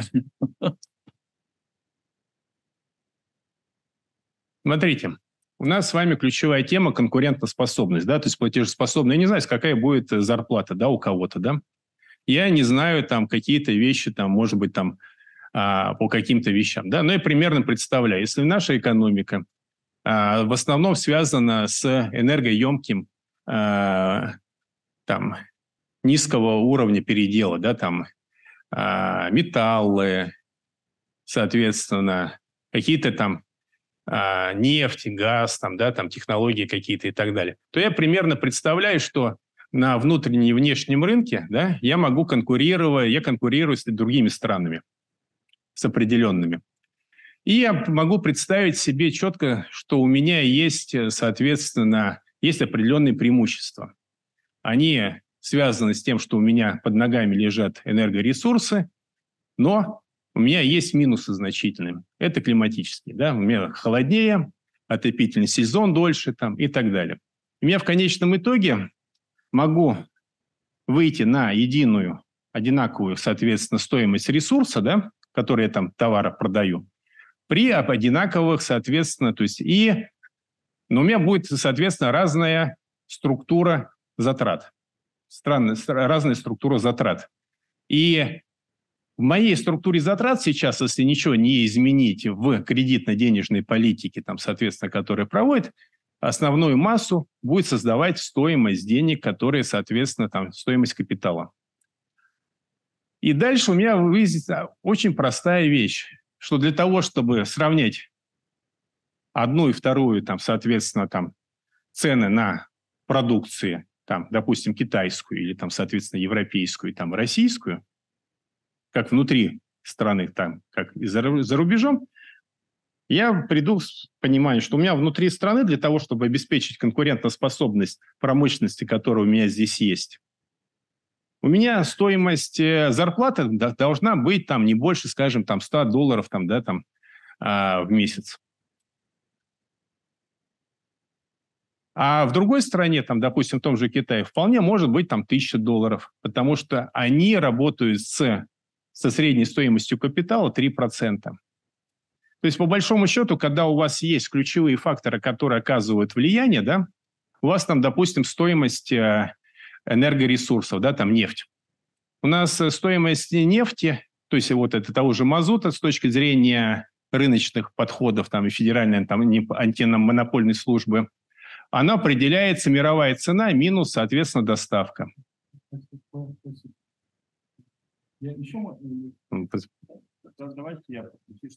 Не диалог у вас был. Да, я, я на самом деле продолжу вопрос. А, если посмотреть на ваш доклад, да, вы привели ряд фактов о том, как сейчас система функционирует в России, некоторые специфики, которые действительно редко обсуждают. Далее а, некоторые такие концептуальные вещи, да, там, там насчет рынка и так далее, да, особенности функционирования в новых, в современных условиях. Потом достаточно много было экономических оценок, да, там, конкурентоспособности в разных условиях. Ну, технико-экономических, да, окей, да. Но я увидел там больше экономики, да, вот как это может на экономику влиять, как я это увидел, да. Э, экономику энергосистемы. Вот. И в конце хотелось бы видеть предложение. Вот сейчас вот мы услышали часть да, ваших позиций, но все-таки, вот, условно говоря, предложение в терминах мер экономической политики, допустим, ну, это даже не так я бы начал. Предложение э, о том, э, какую там технологическую, экономическую политику вести э, в рамках э, российской электроэнергетики, раз, да. И второе – это экономическая политика, да, в этой сфере. Вот, э, условно говоря, какие выводы из вот ваших расчетов, если их систематизировать, вот между собой собрать можно сделать и ваше предложение. Условно говоря, вот у вас есть возможность написать записку, которую там отправить там министру, я не знаю, там вице-премьеру, там и в другие инстанции. Понятно, в эти инстанции это как бы отдельная тема. Там нужно, существует определенное какое-то правильно, говорят, правило да, написания записок. А по сути, по большому счету, я на данный момент времени могу сказать следующее. В ближайшие, скажем, лет 10-15, а это, в общем-то, как бы считается с точки зрения системного анализа, да, который обсуждался, нам нужно минимизировать из того, что мы получили, а, работу в, в рамках РАВИ, потому что это нам ничего хорошего не даст, то есть большие цены, и, соответственно, как бы приведет просто к классному, значительному росту всему. У нас нет необходимости заниматься а, то есть а, массовым внедрением а, накопителей, потому что это приведет к большой, опять же, стоимости. То есть проще как бы сохранить то оборудование, которое есть, и модернизировать то, что нам, соответственно, обеспечит. Ключевым показателем эффективности должно быть у нас, еще раз говорю, мы сейчас, вот в ближайшее время, в ближайшие 10-15 лет, если нам повезет, мы будем основываться на том оборудовании, которое построено в Советском Союзе. Вопрос упирается в том, что при той денежно-кредитной политике, которую показал новое, любое новое строительство, делает нас менее конкурентоспособным. Следовательно, ключевым фактором будет это продление ресурса того, что у нас есть. Да? А строительство новых объектов, которые мы должны делать, они должны исходить из минимальной стоимость и максимальный срок эксплуатации, плюс те режимы, которые нам необходимы. А режимы, соответственно, то есть обеспечение, вот то, что у нас поставлено в самом начале, это надежного, эффективного энергоснабжения потребителя по приемлемой цене. То есть у нас во всех расчетах по энергетической стратегии, во всех документах стратегического планирования должны появиться ценовые характеристики, которые говорят о том, что потребитель, вот мы рассчитываем на те 15 лет, мы рассчитываем, что цена будет такая-то. Понятно, что для того, чтобы развивать энергетику, целесообразно двигаться в сторону длинных контрактов. То есть, опять же, если мы посмотрим с вами Европейский Союз, да, и мы то, что пишется в наша пресса, вот смотрите, они цены формируют на бирже, да, у них газ там прыгает таким-то образом, вместо того, чтобы иметь длинные контракты с «Газпромом» по фиксированной там некой цене, там привязка, там пусть даже к нефти, они вот решили играть в такие-то игры.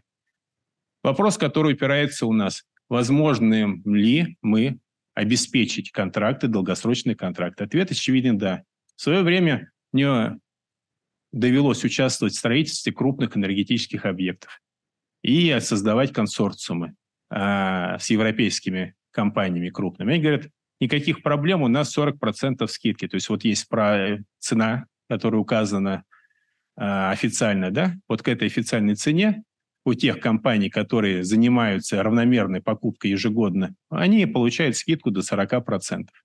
Поэтому наша задача ключевая энергетической стратегии, которую мы должны сейчас обеспечить, определить те мероприятия, которые должны привести к снижению стоимости электрической энергии и тепла для российских потребителей, для российской экономики, чтобы обеспечить их конкурентоспособность как здесь, так и там. Так, коллеги, у нас будут еще вопросы? Я предложил бы к выступлению. Да. Есть онлайн еще вопросы. Добрый день. Да, здравствуйте. Наталья Гриб, да. Российское энергетическое агентство.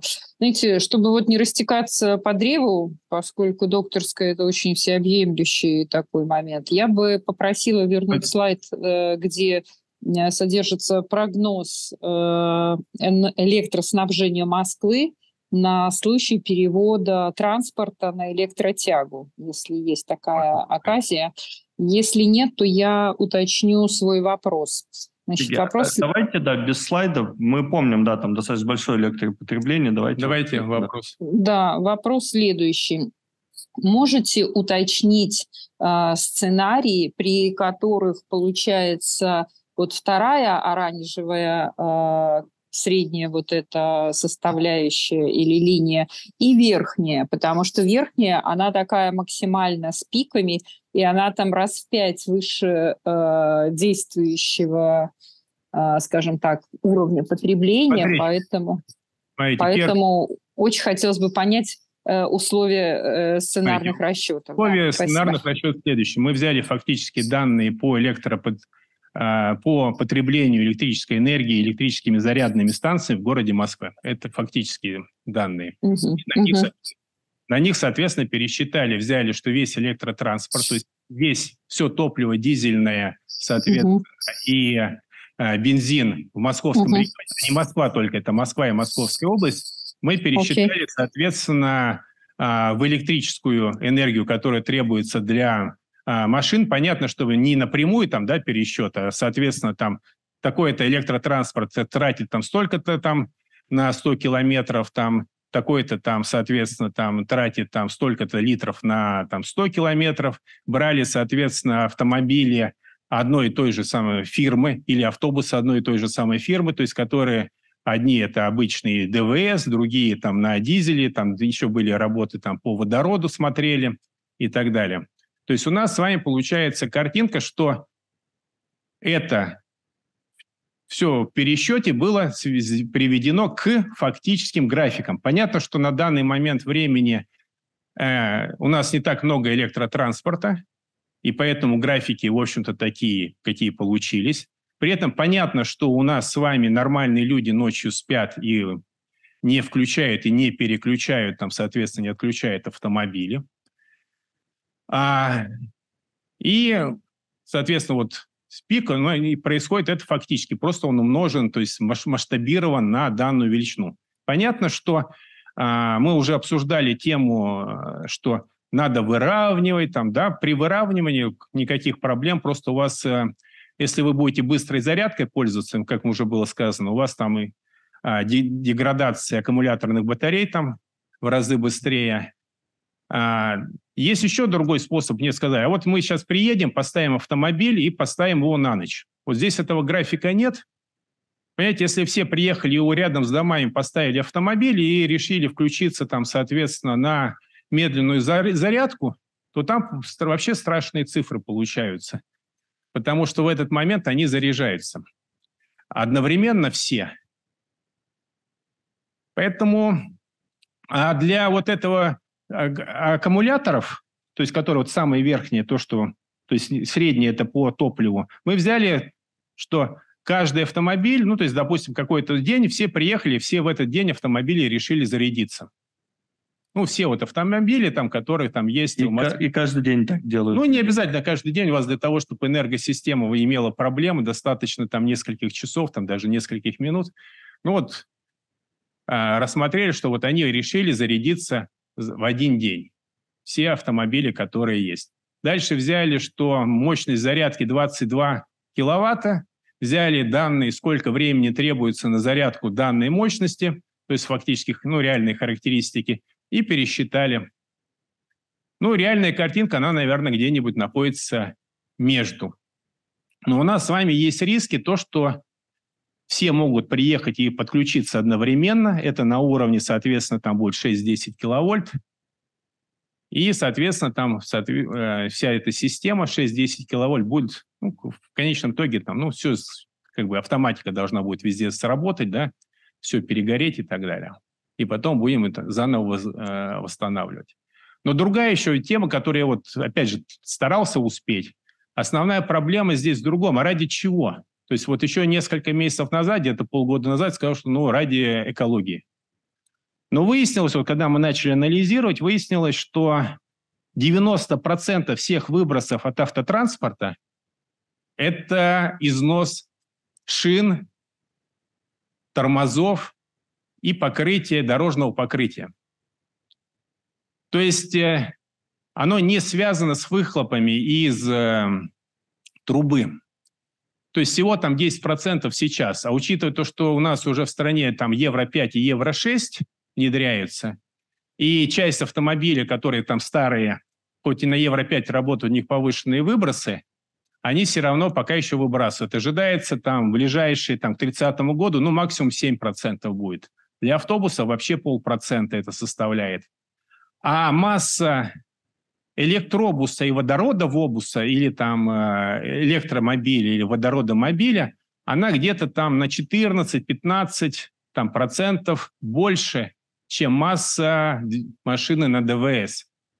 Это означает том, что вы просто по массе можете перемножить на коэффициент 1,15, и у вас получится, что выбросы вот этих веществ, мелко вот этих PM 2,5, PM 10, ну, суммарные, то есть по массе они станут намного как бы больше, но основную массу это будут составлять вот эти вредные выбросы PM2,5, PM10. Плюс еще проблема с шинами и с колодками, там еще и с покрытием. Там есть проблемы с тяжелыми металлами, которые тоже возникают. Поэтому нам предлагается построить новую энергосистему, то есть значительные как бы затраты на все это привести – плюс непонятный экологический эффект. То есть такое ощущение, что просто экологического эффекта нет. Речь, это даже без учета выбросов на электростанциях, которые будут вырабатывать дополнительные киловатт-часы. Это просто вот э, связано только э, с выбросами и с тем, что 90, то есть 90% это шины, тормозные, тормоза и покрытие. Спасибо большое, вы ответили на мой вопрос. Если вдруг можно получить э, доступ или ссылочку на исследование про 90% выбросов от шин, я буду счастлива узнать, э, кто автор. Впервые слышу этот аргумент, хотя с тем мы нашли, смотрите, могу сказать, знакома. Смотрите, я могу вам сказать где-то. Мы искали достаточно долго разные вопросы. То есть, когда мы говорим о системных исследованиях, то мы стараемся найти различные факторы, которые оказывают влияние. И нашли кандидатские диссертации, которые сделаны там, вот автомобильные у нас институты в Москве. И НАМИ и там МАДИ, по-моему. То есть вот э, можно как бы вбить и, в принципе, мы можем ссылку дать. То есть, в принципе, мы там э, напис... сейчас направили там журналы там статью, чтобы... И там тоже все ссылки как бы есть. Но они там не рассматривали вопрос сравнения там э, электробусов, водорода, они как раз рассматривали выбросы здесь. Плюс еще по Питеру там были наработки, они как раз проводили эксперименты, измеряли выбросы тяжелых металлов, да, то есть концентрации в воздухе и, соответственно, в снегу там еще в чем-то. Спасибо. Буду признательна за ссылку, да. Да, предлагаю, да, это все опубличить. Мне показался очень кривой график, я скажу напрямую. Там, мне кажется, ошибка как минимум на порядок по крайней мере, по электрике, не знаю, там мощности или киловатт-часы, но там ошибка Давайте, сильная. хорошо, давайте. Я, я готов где-нибудь отдельно. А давайте нас... вы сейчас прямо извинитесь, вот возьмем просто простую величину машин, Давай. там 5 миллионов машин. Да. Умножьте на 22. Нет, смотрите. Подождите, вот смотрите, вы высказали, я вам говорю, 5 миллионов машин умножьте на 22 Мы э, сейчас киловатта. не будем на это тратить время, очень все просто. Если следующий семинар я начну, я извинюсь, если я ошибся. Вот так вот я скажу. Давайте сделаем. А, сделать. Валерий Валерьевич, поскольку я задала этот вопрос, можно я про, ну вот да. одно предложение скажу? Дело в том, что нижняя вот эта линия, которая нарисована, это не спрос на электроэнергию в Москве, а это то, что сегодня потребляют небольшое количество электрозаправок в Москве. И тогда вот от этой нижней линии более-менее становится понятно, и, почему настолько растет. Итак, нижняя линия – это потребление электрической энергии в ЗСП Москва, которая включает Москву и Московскую область. Нет, угу. не электротранспорта, полностью потребление. Полностью. Тогда, конечно, очень много. А да, дальше, спасибо. соответственно, все остальное – это огромные цифры, связанные с тем, что автомобилей в Москве достаточно большое количество, автомобилей в Московской области тоже достаточно большое количество, и топливо потребляется в Москве и Московской области, по официальным данным, тоже в достаточно большое количество. А для проверки всегда легко, еще говорю, взять умножить 5 тысяч а, автомобилей только по Москве, которые там 4,6, по-моему, миллиона, а тут, ну, возьмем там для простоты 5 миллионов, умножим на 22, киловатт-час. Я, я предлагаю два слайда сделать с расчетами и их также выложить вот в чатик у нас тут есть, да. презентация выложена. Я, я думаю, что любой. Мы но, там... но сходу, э, то, что, ну ладно, я предлагаю закрыть. Э, сходу некоторые слайды смущали, некоторые тезисы смущали. Там получалось у вас то, что перевод всего, даже всего транспорта в три раза больше будет потребление, чем текущее. Ну, странно цифры, честно. В два-три раза будет в зависимости от Ну, э, да, давайте теперь проверим. Окей, хорошо. Тогда просто вариант счета да, и гипотезы, кто какие используют. Пока будут Окей. задаваться вопросы. Так, у нас есть еще вопросы? Я бы перешел к выступлениям, на самом деле, потому что там все-таки общая тема большая, масштабная, да, в частности, ходить не хочется. Так очень много поднятых рук. Да, по каждой Очень день... много поднятых рук. А. Да, рук-то у слушателей много поднято. Вот, да, вот я сейчас увидел, да, Владимир Владимирович Дербенцов, я вижу руку, да, давайте. Нет, но рук-то было гораздо больше, я не самый первый понял. Давайте я быстро спрошу. Давайте. Скажите, а какую цену выбросов а, вы принимали, когда сравнивали цену а, выработки электроэнергии на тепловых электростанциях и а, ВИА? Потому что я как-то ни на одном слайде это не увидел, но вы уверенно говорили, что выработка на ВИА, она станет гораздо дороже. Смотрите, я не занимаюсь вопросами, сколько стоит. Понятно, что есть там в России там тысячу рублей там для там Сахалина там установки. Я вам сказал, что это расчет очень простой. У нас есть сжигание топлива, и есть коэффициенты преобразования там, топлива, там, допустим, газа, да, там э, выбросы СО2. То есть это характеристики, которые не связаны со стоимостью топлива. Это характеристики связаны с расходом топлива и выбросами, соответственно, а, при сжигании вот этого топлива, выбросами СО2. Ветер и солнце, могу сказать, что ветер мы рассматриваем вместе с ГТУ. ГТУ маневренный, который может включаться, выключаться, быстро изменять нагрузку. У него КПД, дай бог, 35%. А, соответственно, ПГУ, которая, соответственно, может ввести более-менее нормальные режимы и так далее, у него КПД там 50-55%, вполне как бы решаемо. То есть у нас получается следующая картинка.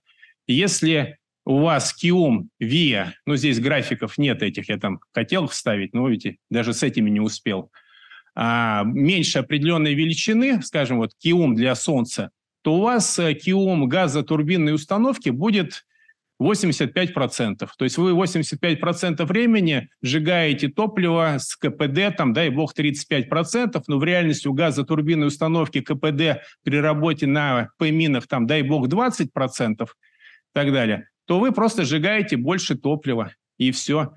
Но при текущей картинке мы говорим, что ветер и солнце, они зеленые полностью, они ни на что не влияют. А вот эти ухудшения режимов, которые необходимо ввести, а это перекладывается на а, другие станции, да, там, в том числе на старые станции. И у них растут удельники, сильно ухудшается э, эффективность выработки в кондиционном режиме и так далее. А дальше им говорят, ну, это же морально устаревшие, давайте их выведем. Нет, а ну да? это понятно, вы все говорили, но получается, что все ваши сравнения, они только для случая балансировки системы за счет существующей генерации.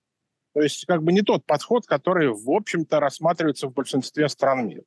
Ну, вопрос, э, почему? Про накопители вы как бы там, вот как вы, я честно писали, что большинство без накопителей, без накопителей. Почему? Без накопителей, да.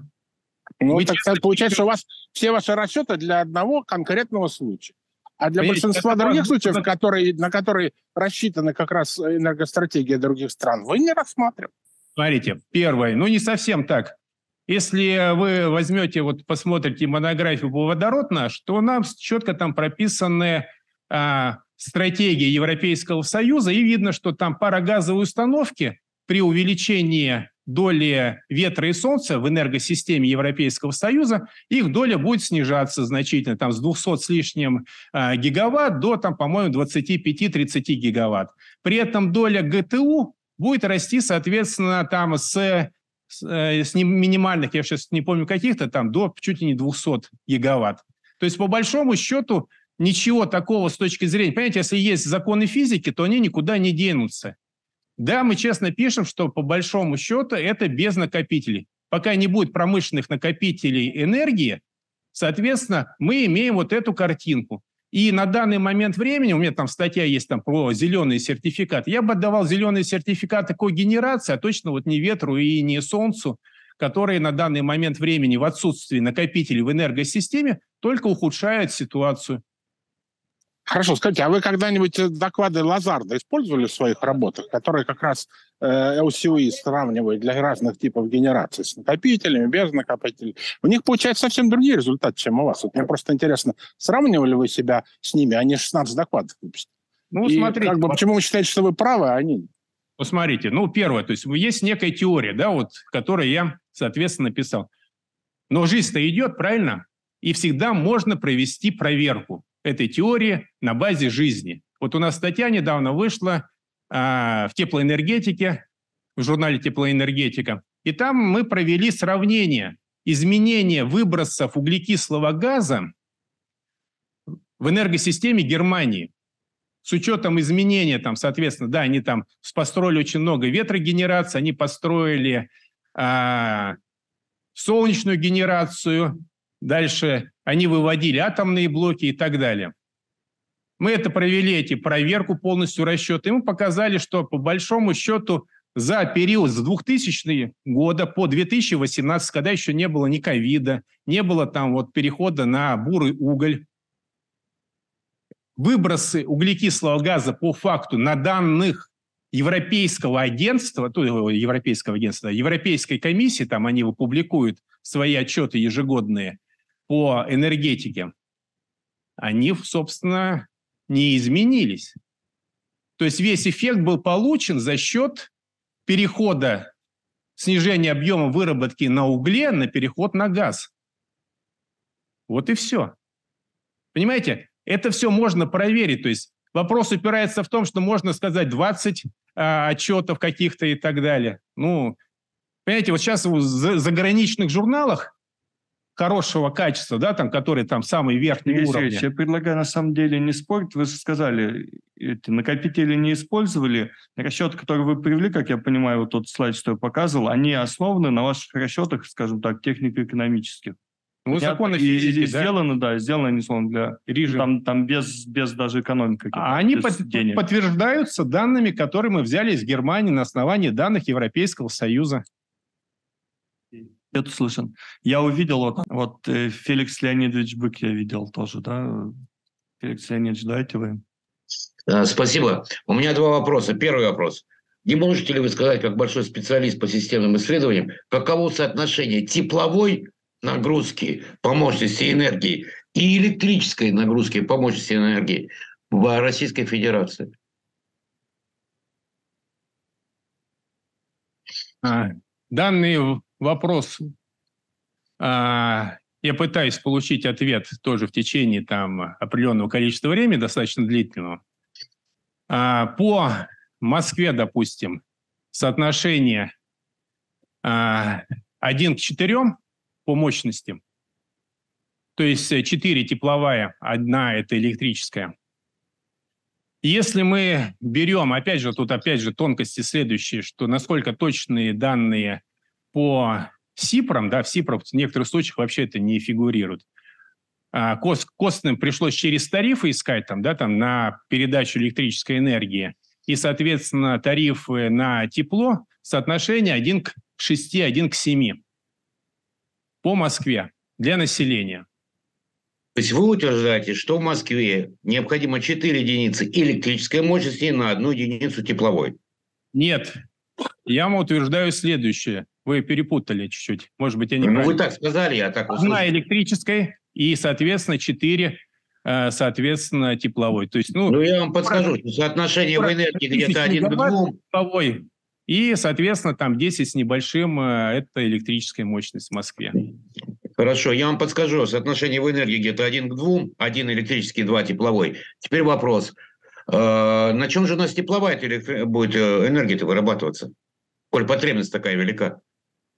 С вашей точки зрения, с экологических последствий, ну и точки, и так далее, и так далее, и так далее.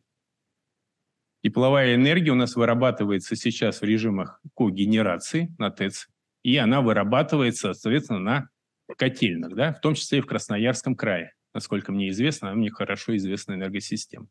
Дальше соотношение 1 к 2, когда вы говорите, это первое. Мне в меньшей степени интересует тепло летом, потому что тепло летом, оно, соответственно, меня особо не напрягает. А вот то, что я вам говорю про пиковые вещи, соотношение 1 к 4, меня интересует, потому что если будет срыв надежности теплоснабжения, то у меня будет наброс нагрузки электрической, потому что население перейдет на электротопление. И вот у меня системная авария будет беспокоить гораздо больше, чем то, что часть страны потребляет там, да, электрическую энергию. У нас есть много алюминиевых заводов, которые тепло практически не потребляют, да, если не брать там эти глиноземные, которые входят там в русский алюминий. Поэтому вопрос упирается в том, что да, есть тепло, есть электроэнергия. По поводу тепла у нас достаточно в Москве там и в других городах есть определенный резерв мощности и сейчас. Так где топливо сжигается больше, для тепла или электричества? Для тепла сжигается больше топлива. Ну, значит, экологический вред от нее больше? А кто вам сказал, что экологический вред от нее больше? Понимаете, мы живем в холодной стране, и первый график, который я показывал, мы можем сделать нашу экономику углеродонейтрально, если мы просто пересчитаем потребление электричества, то есть природного ой, этого углекислого газа на заросших сельхозугодиях, которыми мы не пользуемся. И тогда не нужно заниматься вопросами, связанными а, с природным там газом. -то, да, у нас, соответственно, в Красноярске, да, там угольные блоки, да, там, соответственно, а, в Улан-Удэ там вообще там смог стоит, там, когда там работает а, а, местное отопление, там, да, то есть люди включают свои собственные там котлы, да, и так далее. Там дышать нечем. Я туда там сколько, несколько раз ездил в отопительный период. Поэтому вопрос упирается в следующем. Мы должны обеспечить в рамках той же Конституции Российской Федерации и всего остального, должны обеспечить теплом, электрической энергией и другими ресурсами, энергетическими ресурсами наше э, население, наша промышленность по доступной цене. А вопрос, каким образом мы обеспечим углеродную нейтральность, мы можем выполнять поручения президента. А если мы вспомним, что Китай наш главный сейчас союзник и там, партнер, да, он в 2060 году... Сергей Сергеевич, вы очень долго отвечаете да. на достаточно простой вопрос. Спасибо, я получил исчерпывающий ответ. Спасибо. Так, Антон Игоревич Пузов говорит, что он готов задать вопрос. Вот он как раз из Красноярска. Да. А, да, да. Здравствуйте, коллеги, меня слышно? Да-да-да. Алло, алло, да. Э, э, меня зовут Антон Пыжов, я из Сибирского федерального университета Института экономики и организации промышленного производства СОРАН. Прошу прощения, отходил как раз ровно на те две минуты, пока меня вызывали э, к вопросу. У меня скорее не вопрос, а все-таки продолжение дискуссии. И вот я занимаюсь подробно проблемой лесов. Я, к сожалению, Сергей Сергеевич, с вашим тезисом не согласен категорически. И эта позиция не моя личная, а позиция сообщества, которое занимается этим, этим вопросом, в частности, проблемой увеличения поглощения углерода наземными экосистемами. Дело в том, что тот подход, который вы предлагаете, как выполнить э, требования указа, он совершенно не соответствует никаким нормам ни Парижского соглашения, ни другим нашим локальным нормативным актам в России. А, это первое соображение, я про это чуть подробнее скажу. А второе, э, самое главное, дело в том, что вы там привели э, слайд, на котором э, обозначено, что там довольно сложная какая-то модель расчета того, как вовлечь сельхозземли в оборот. Но надо понимать, что на самом деле, если именно на цель к 30 году сократить на 70% от 90-го года, то эту цель мы уже выполнили. Там не надо никакую поглощающую способность учитывать. И вот эта добавка в, э, в формулировке, она э, возникла в законе, в указе три шестерки от 4 ноября 2020 года. Не по причине того, что вот за счет этого мы это сделаем, а по совершенно другой. Потому что у нас есть известная проблема недоучета э, этой самой поглощающей способности. Мы много об этом говорили. А теперь вот что касается темы, э, связанной с сельхозземлей, дело в том, что вы приводили ссылку на какие-то оценки 2015 года, я, к сожалению, не знаю, о чем конкретно вы говорите, но эту проблему очень подробно исследовали мы с коллегами, э, вернее, наши коллеги в основном из Института космических исследований, был проект в течение пяти лет. «Космическая обсерватория углерода лесов России», и э, оценки соответствующие есть о, о, о том потенциале э, сельхозземель, которые можно здесь использовать. Но, повторюсь, э, подход в духе, что мы сейчас просто должны что-то там досчитать, какую-то неучтенную углеродопоглощающую способность, он не соответствует принципу дополнительности. Это невозможно. То есть все, вся поглощающая способность, которая происходит в естественных экосистемах, мы э, с ней никакие манипуляции такого рода, которые вы предлагаете, делать не можем. Я готов подробно, если не, необходимо, э, ответить ну, там, на детальные вещи, но вот э, эту реплику я не могу не сказать, потому что просто вот этот блок, он точно в вашей очень интересной работе, он, мне кажется, как минимум не соответствует тем знаниям и представлению о проблеме, которой обладает достаточно широкая компетентное, узкое профессиональное сообщество. Спасибо. Спасибо. Смотрите, я с удовольствием поговорил бы, там, если телефон вы перешлете, мы можем поспорить, потому что в конечном итоге в научных спорах именно рождается истина, да, то есть не просто в спорах, да, именно в научных, да, у которых есть определенные правила. Я могу сказать следующую вещь. А, данные, которые мы использовали, это данные, которые разработаны, есть у нас в стране несколько институтов, да, которые занимаются лесами.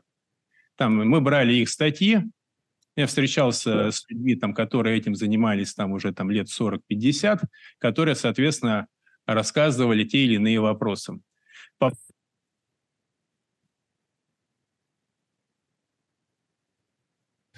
поводу... Потерялся звук, да. Можно, да, по поводу можно использовать и нельзя. Смотрите, есть сектор землепользования, изменения землепользования и лесное хозяйство. В данном случае речь идет точно о изменении землепользования, потому что это было, соответственно, ну и сейчас пока формально там, да, там, а, а, соответственно, это сельхозугодья, да, их не перевели, а, соответственно, в, в лесное хозяйство. И в этом смысле это полностью соответствует требованиям, которые там выставляется Организация Объединенных Наций. То есть это не лес, который как бы был и который там изменился. Дальше у нас в стране существует там четыре группы специалистов, которые делают свои расчеты по поглотительной способности лесов. И одна группа, она является официальной, да, которой, на основании которой считаются расчеты. Три другие, они неофициальные. Но если мы сравним специалистов, которые делали эти расчеты в тех группах, то у них поглотительная способность наших лесов несколько раз выше, чем у той группы, которая делает расчеты для а... Сергей Сергеевич, можно я, я прерву вас? Дело в том, что вы, по крайней мере, для меня сообщаете совершенно очевидные факты. Более того, я соавтор работы совместно с академиком Порфирьевым Э, и э, еще целым рядом коллег из Института народно-хозяйственного прогнозирования. Два года назад мы писали про эту большую работу. Мы все это прекрасно знаем. Поэтому э, это ничего здесь не доказывает и не приводит, приводит убедительных аргументов в пользу того, что мы можем просто искусственно досчитать эти вещи.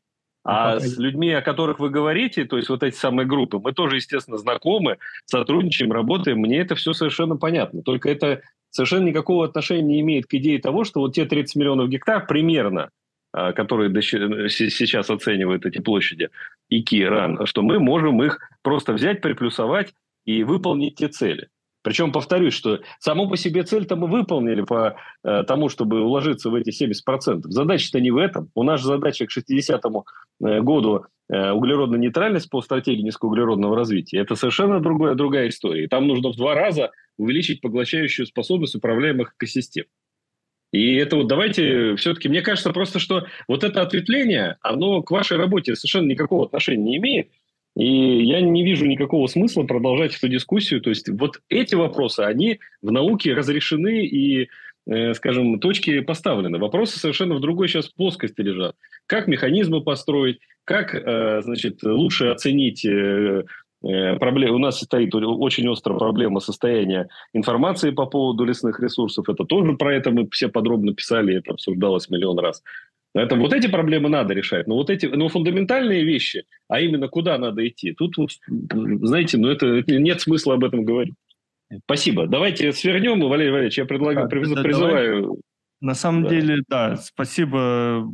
Не все энергетики, у нас тут в основном энергетики, в курсе всего. Я тогда сделаю да. еще пару отсылочек. У нас на сайте института находятся э, материалы с нескольких мероприятий, не считая да. чистых публикаций, где вся эта дискуссия достаточно подробно и на профессиональном уровне с ключевыми специалистами по России да, в этих вопросах сделано, можно прийти, посмотреть. Если надо, ну там всегда можно написать, там я сам перешлю или отправлю коллегам, которые лучше разбираются именно в этих вопросах СО2.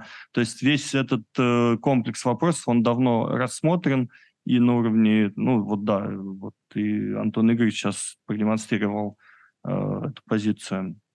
Так, коллеги, у нас еще вопросы есть или мы к выступлениям перейдем?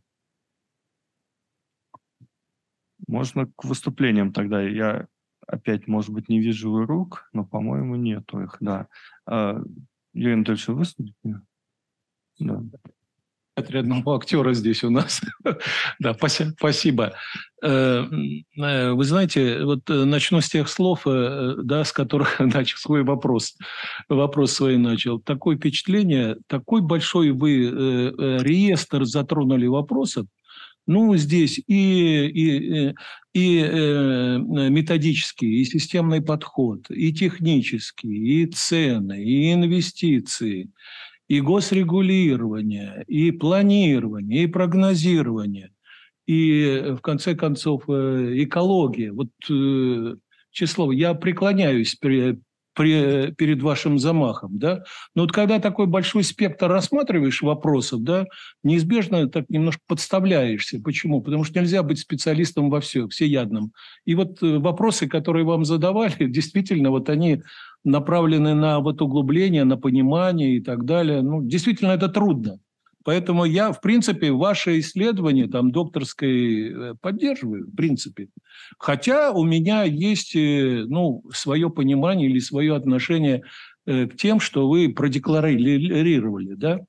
Это вот первый как бы тезис. Второй тезис. Вот у меня такое сложилось впечатление, вы много о чем, вот о всем этом сказали, но в каждом вопросе вы как бы их не досказали, не поставили какой-то точки. Вот трудно, а в чем же вывод из этого состоит? Как бы очень трудно понять. Ну, э, я буду из э, того понимания, что вот мне близко, как бы, вот что меня зацепило, я сразу скажу, я не электроэнергетик, да, я вот на ваши исследования смотрю с позиции прогнозирования, с позиции э, госрегулирования и так далее. Вот первое, что бросается в глаза, да, вот первое – Э, ну, для меня, во всяком случае, а, а вы оценили проблему, вот ту, которую я уже говорил там, э, с которой начинал. Проблема э, того, что внизу, на местах, в регионах более такое прогнозирование, более предметное прогнозирование, чем вот на уровне там, Российской Федерации на 15 лет. Ну и здесь я пытался понять, а в чем же ваше предложение, и я, честно говоря, не очень понял. Хотя сразу могу сказать, что это дилемма, это разрешалось. Э, достаточно взглянуть на нашу историю. Э, да? Наша страна богата э, теорией планирования, да, вообще-то говоря. Ну вот э, как бы из того, что надо было бы, на мой взгляд, это вот надо было учесть практику планирования вот недалекое советское время. Да, мы можем сейчас критиковать с вами там план, там система планирования как там обязательная, его директивность и так далее.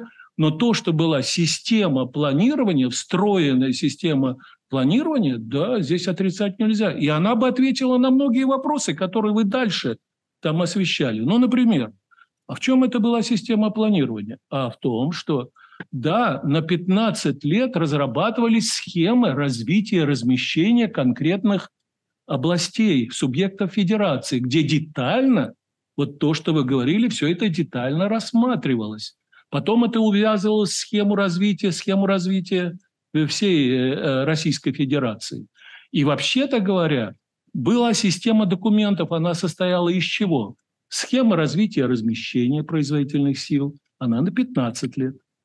Дальше была энергостратегия, она уже на 5 лет э, более глубоко, это на 20 лет. И, наконец, комплексная программа научно-технического прогресса на 25 лет. В чем была логика, которая помогла бы вам э, здесь ответить на многие вопросы?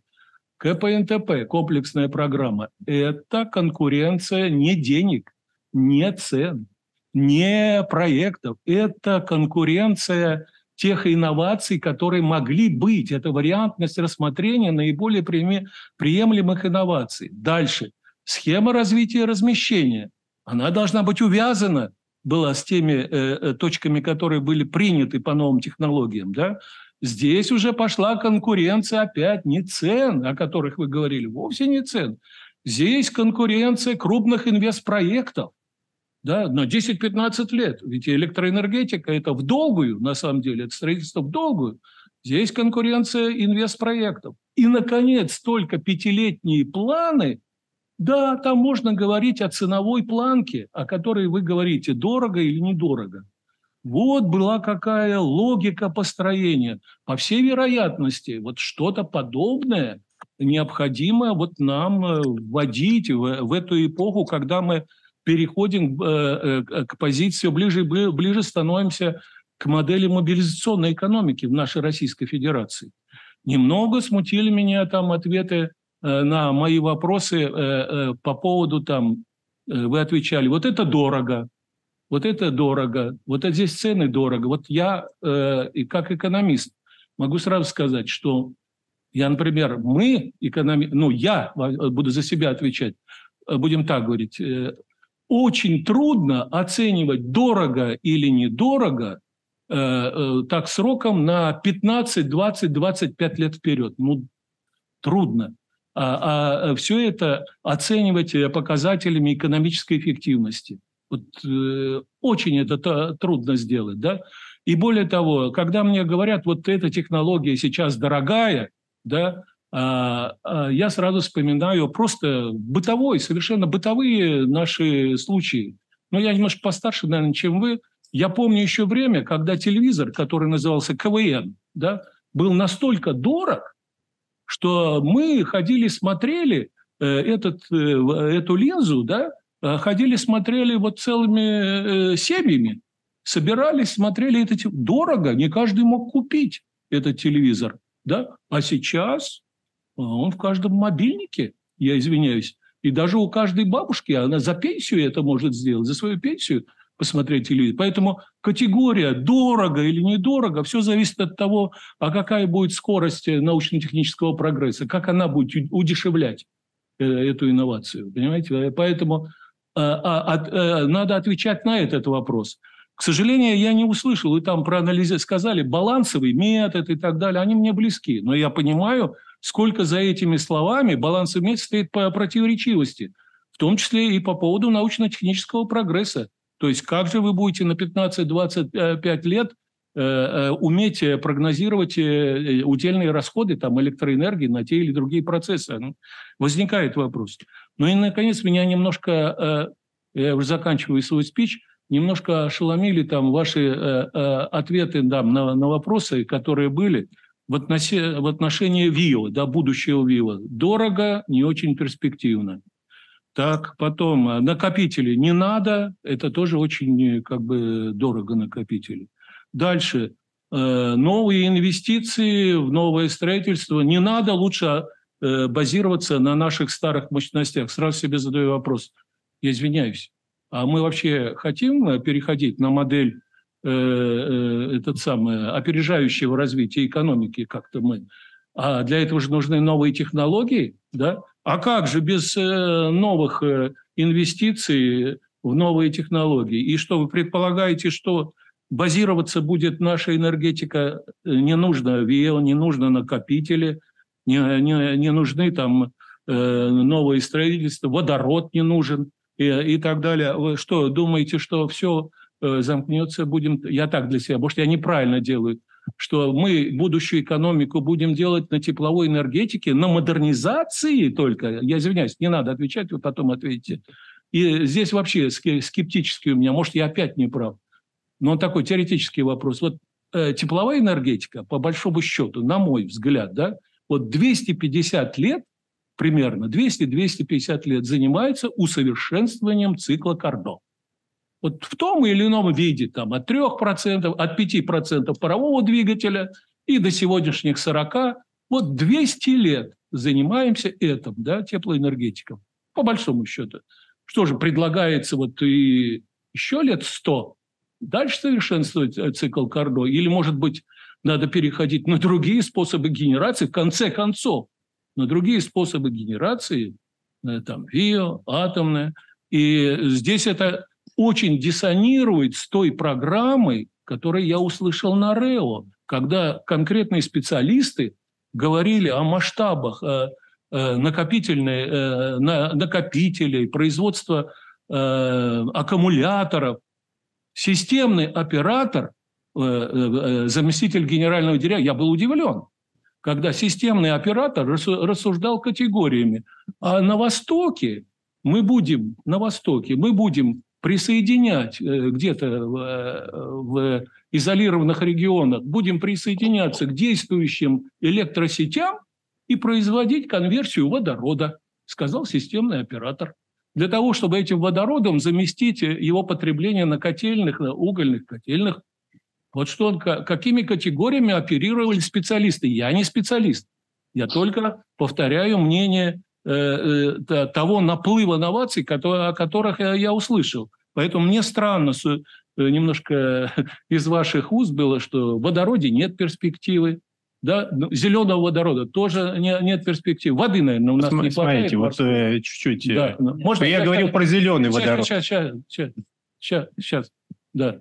Но, ну, собственно говоря, могу дальше как бы, да, опять я говорю, имеете право на точку зрения. Я даже ваши э, сто процентов поддерживаю там. Ваш... Надо такого широкого спектра делать, если надо, обязательно надо. Но э, э, чем шире э, такого сорта исследования, тем больше должно быть э, встреч э, для дискуссий, для того, чтобы в каждой точке да, обозначить ну, правильность решения проблемы. Вы понимаете, от шин, которых я тоже там так э, услышал э, достаточно, до, до лесов и так далее, где специалисты есть, э, да, вот каждое это требует обсуждения, каждое опять. Вот это не критика, это вот э, как бы э, способы поня- понять вас и поддержать вашу широту, на самом деле. Да, спасибо. Коллеги, кто-то хочет выступить из присутствующих в онлайне? Я тогда очень коротко что-то подведу итоги и от себя тоже скажу обратную связь. Вначале эм, обратная связь на доклад. А, Мне не хватило в докладе некоторой систематизации представленных результатов. Я для себя увидел три блока, скажем так, больше таких аналитических, вот технико-экономических расчетов, а вот э, предложения мы вот в конце из вас вытягивали уже в дискуссии, хотя мне казалось, там явно ряд результатов, которые я там поддержу как э, эксперт, как экономист, как экономист-энергетик с энергетическим уклоном, скажем так, э, являясь экономистом, да.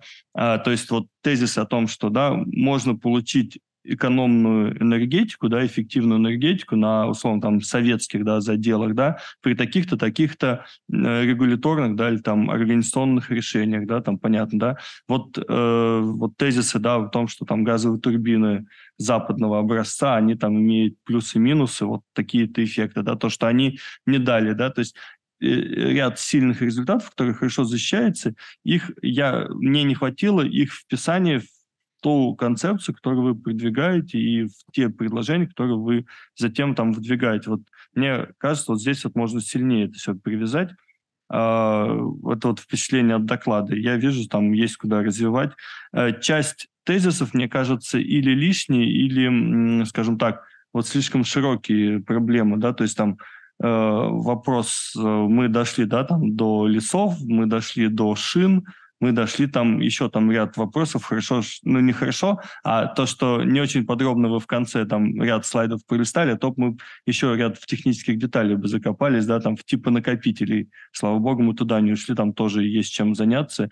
И по каждому из них можно не одну диссертацию писать и так далее. Да, понятное дело, что один доклад, там, одна работа, она не может себе содержать слишком много деталей, да, вы должны вот как-то ограничить это, и вот даже с точки зрения восприятия слушателей. Потому что в какой-то момент было тяжело, интересный явно слайд, а там три графика, и ты не успеваешь осознать, при том, что я там с частью работ знаком, да, то есть мне легче это было, чем большинству зрителей. Вот мне кажется, вот в этом направлении полезно доклад дорабатывать.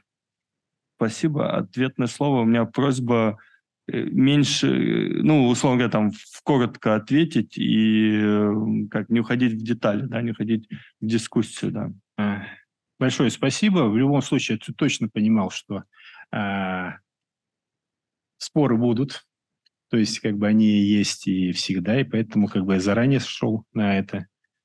А, большое спасибо всем, кто принял участие. Да? При этом я четко говорю, что в научном именно спорах рождается истина. А, вопрос, э, который стоит, у нас есть иерархия, различная иерархия различных документов, которые должны приниматься, да, и, понятно, ни один человек не может знать все, да, но есть э, те люди, которые должны формулировать задачу. И чаще всего они как бы не обязательно являются специалистами в каждой отдельной области. А дальше, соответственно, на этих разных уровнях иерархии идет работа именно с профессионалами. И, соответственно, идет итерационные процессы. То есть при, ну, то, что, собственно, было прописано у Милентьева, да, который а, а, взаимодействуют между собой и находят на некое там наилучшее решение. По поводу водорода. Я не говорил, что я против водорода первое. Я говорил, что мой зеленый водород, который на базе ветра и солнца является неконкурентоспособным, наша страна будет э, как бы иметь самую дорогую энергетику при худших э, климатических ситуациях. В этом смысле она не конкурентоспособна. А водород можно вырабатывать, соответственно, другими способами. И это, в принципе, есть там в наших э, работах, да, то есть как бы вопрос не ставится. По поводу того, что я призываю всех работать на старом советском оборудовании, это тоже нет. Я озвучил, может быть, плохо озвучил. А у нас сейчас ничего другого нет. То есть я не против науки, я сам заканчивал физтех, я двумя руками за науку, чтобы деньги выделялись на науку и так далее. Я исхожу из того, из простой вещи, что завтра, послезавтра, через 5 лет, через 10 лет мы должны обеспечить всех наших граждан электроэнергией, теплом по приемлемой цене. И через 15 лет. Если можно, какой-нибудь прорывная технология позволит нам а, в течение вот этих 10-15 лет обеспечить нас электрической энергией, теплом и вывести из эксплуатации все советское оборудование, ну, я такое не вижу, да. А строительство атомных станций, насколько я понимаю, да, идет там 7 лет одной электростанции. За границей строят еще дольше. А строительство чего-либо водородного, там, да, там, соответственно, с учетом взрывоопасности смеси водородной, да, там в отличие от э, того же метана, который у нас периодически взрывается, да, хлопки происходят, тоже, в общем, это время точно не 5, не 10 лет, а значительно больше. То, что сейчас построит там какое-то количество объектов, да, ну это замечательно, то есть посмотрим, как это будет работать. Для меня это, собственно, наука и технологии. Вопрос, переходить к масштабному внедрению в энергетику, мы должны четко с вами понимать, по какой цене, то есть какая стоимость это будет для экономики и для людей. Не более того, я не против науки, я не против тем более водорода, да, я просто говорю о том, что, ну, может быть, плохо, неправильно сказал, торопился. Я понимал, что не успеваю уже за час, когда у тебя там 60 а, слайдов, то есть уже, очевидно, не успевал, понятно. А так, ну, в общем, вопрос упирается в том, что, да, действительно готов обсуждать там какие-то дальнейшие вещи. По некоторым вещам я услышал, да, какие-то вопросы, они будут интересны буду использовать. По каким-то вещам я не согласен, потому что общался а, тоже с ведущими специалистами, да, у нас в стране как бы есть разные группы ведущих специалистов, они каждый из них а, имеет право на существование, там по той же самой теме а, сельхозугодий и так далее. И идея как раз была в том, что если мы с вами выполнили те или иные задачи по постановке президента, да, то, может быть, мы сконцентрируемся на вопросах, которые являются более жизненно важные и которыми нужно решать именно сейчас.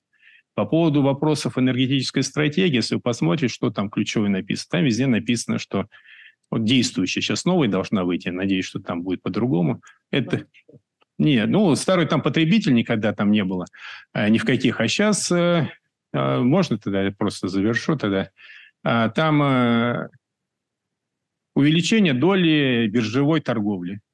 А в тепле то, что вот там людей интересовало, увеличение количества городов или регионов, в которых там будет внедряться альткотельные.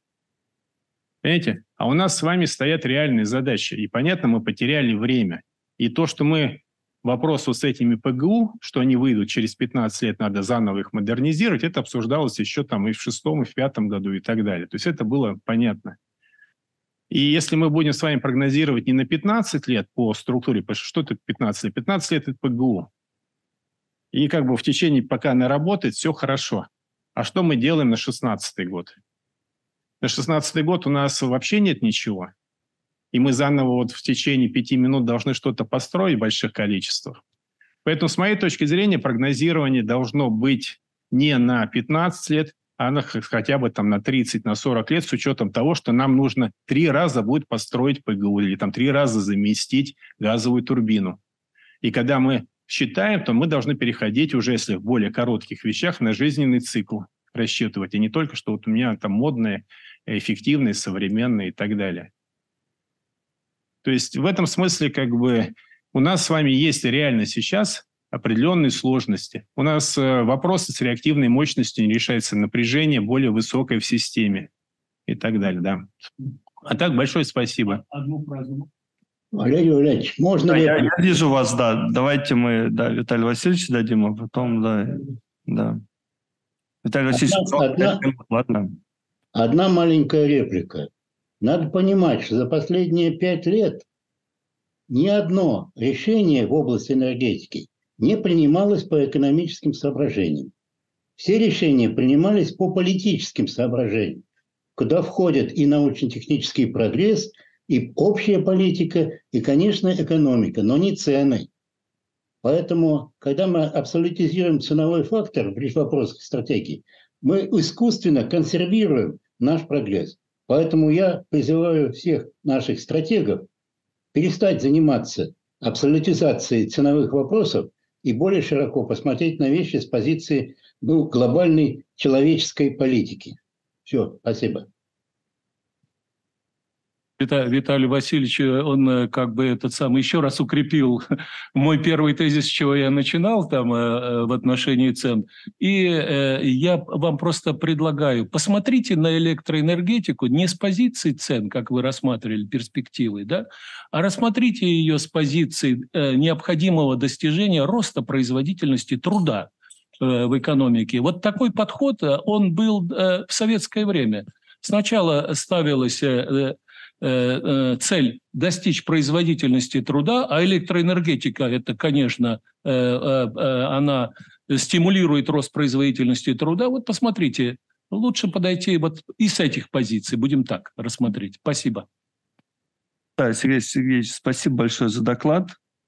Я надеюсь, вы получили обратную связь, мы получили информацию для размышления, да, и сегодняшнее выступление будет полезно. Спасибо, до следующих встреч.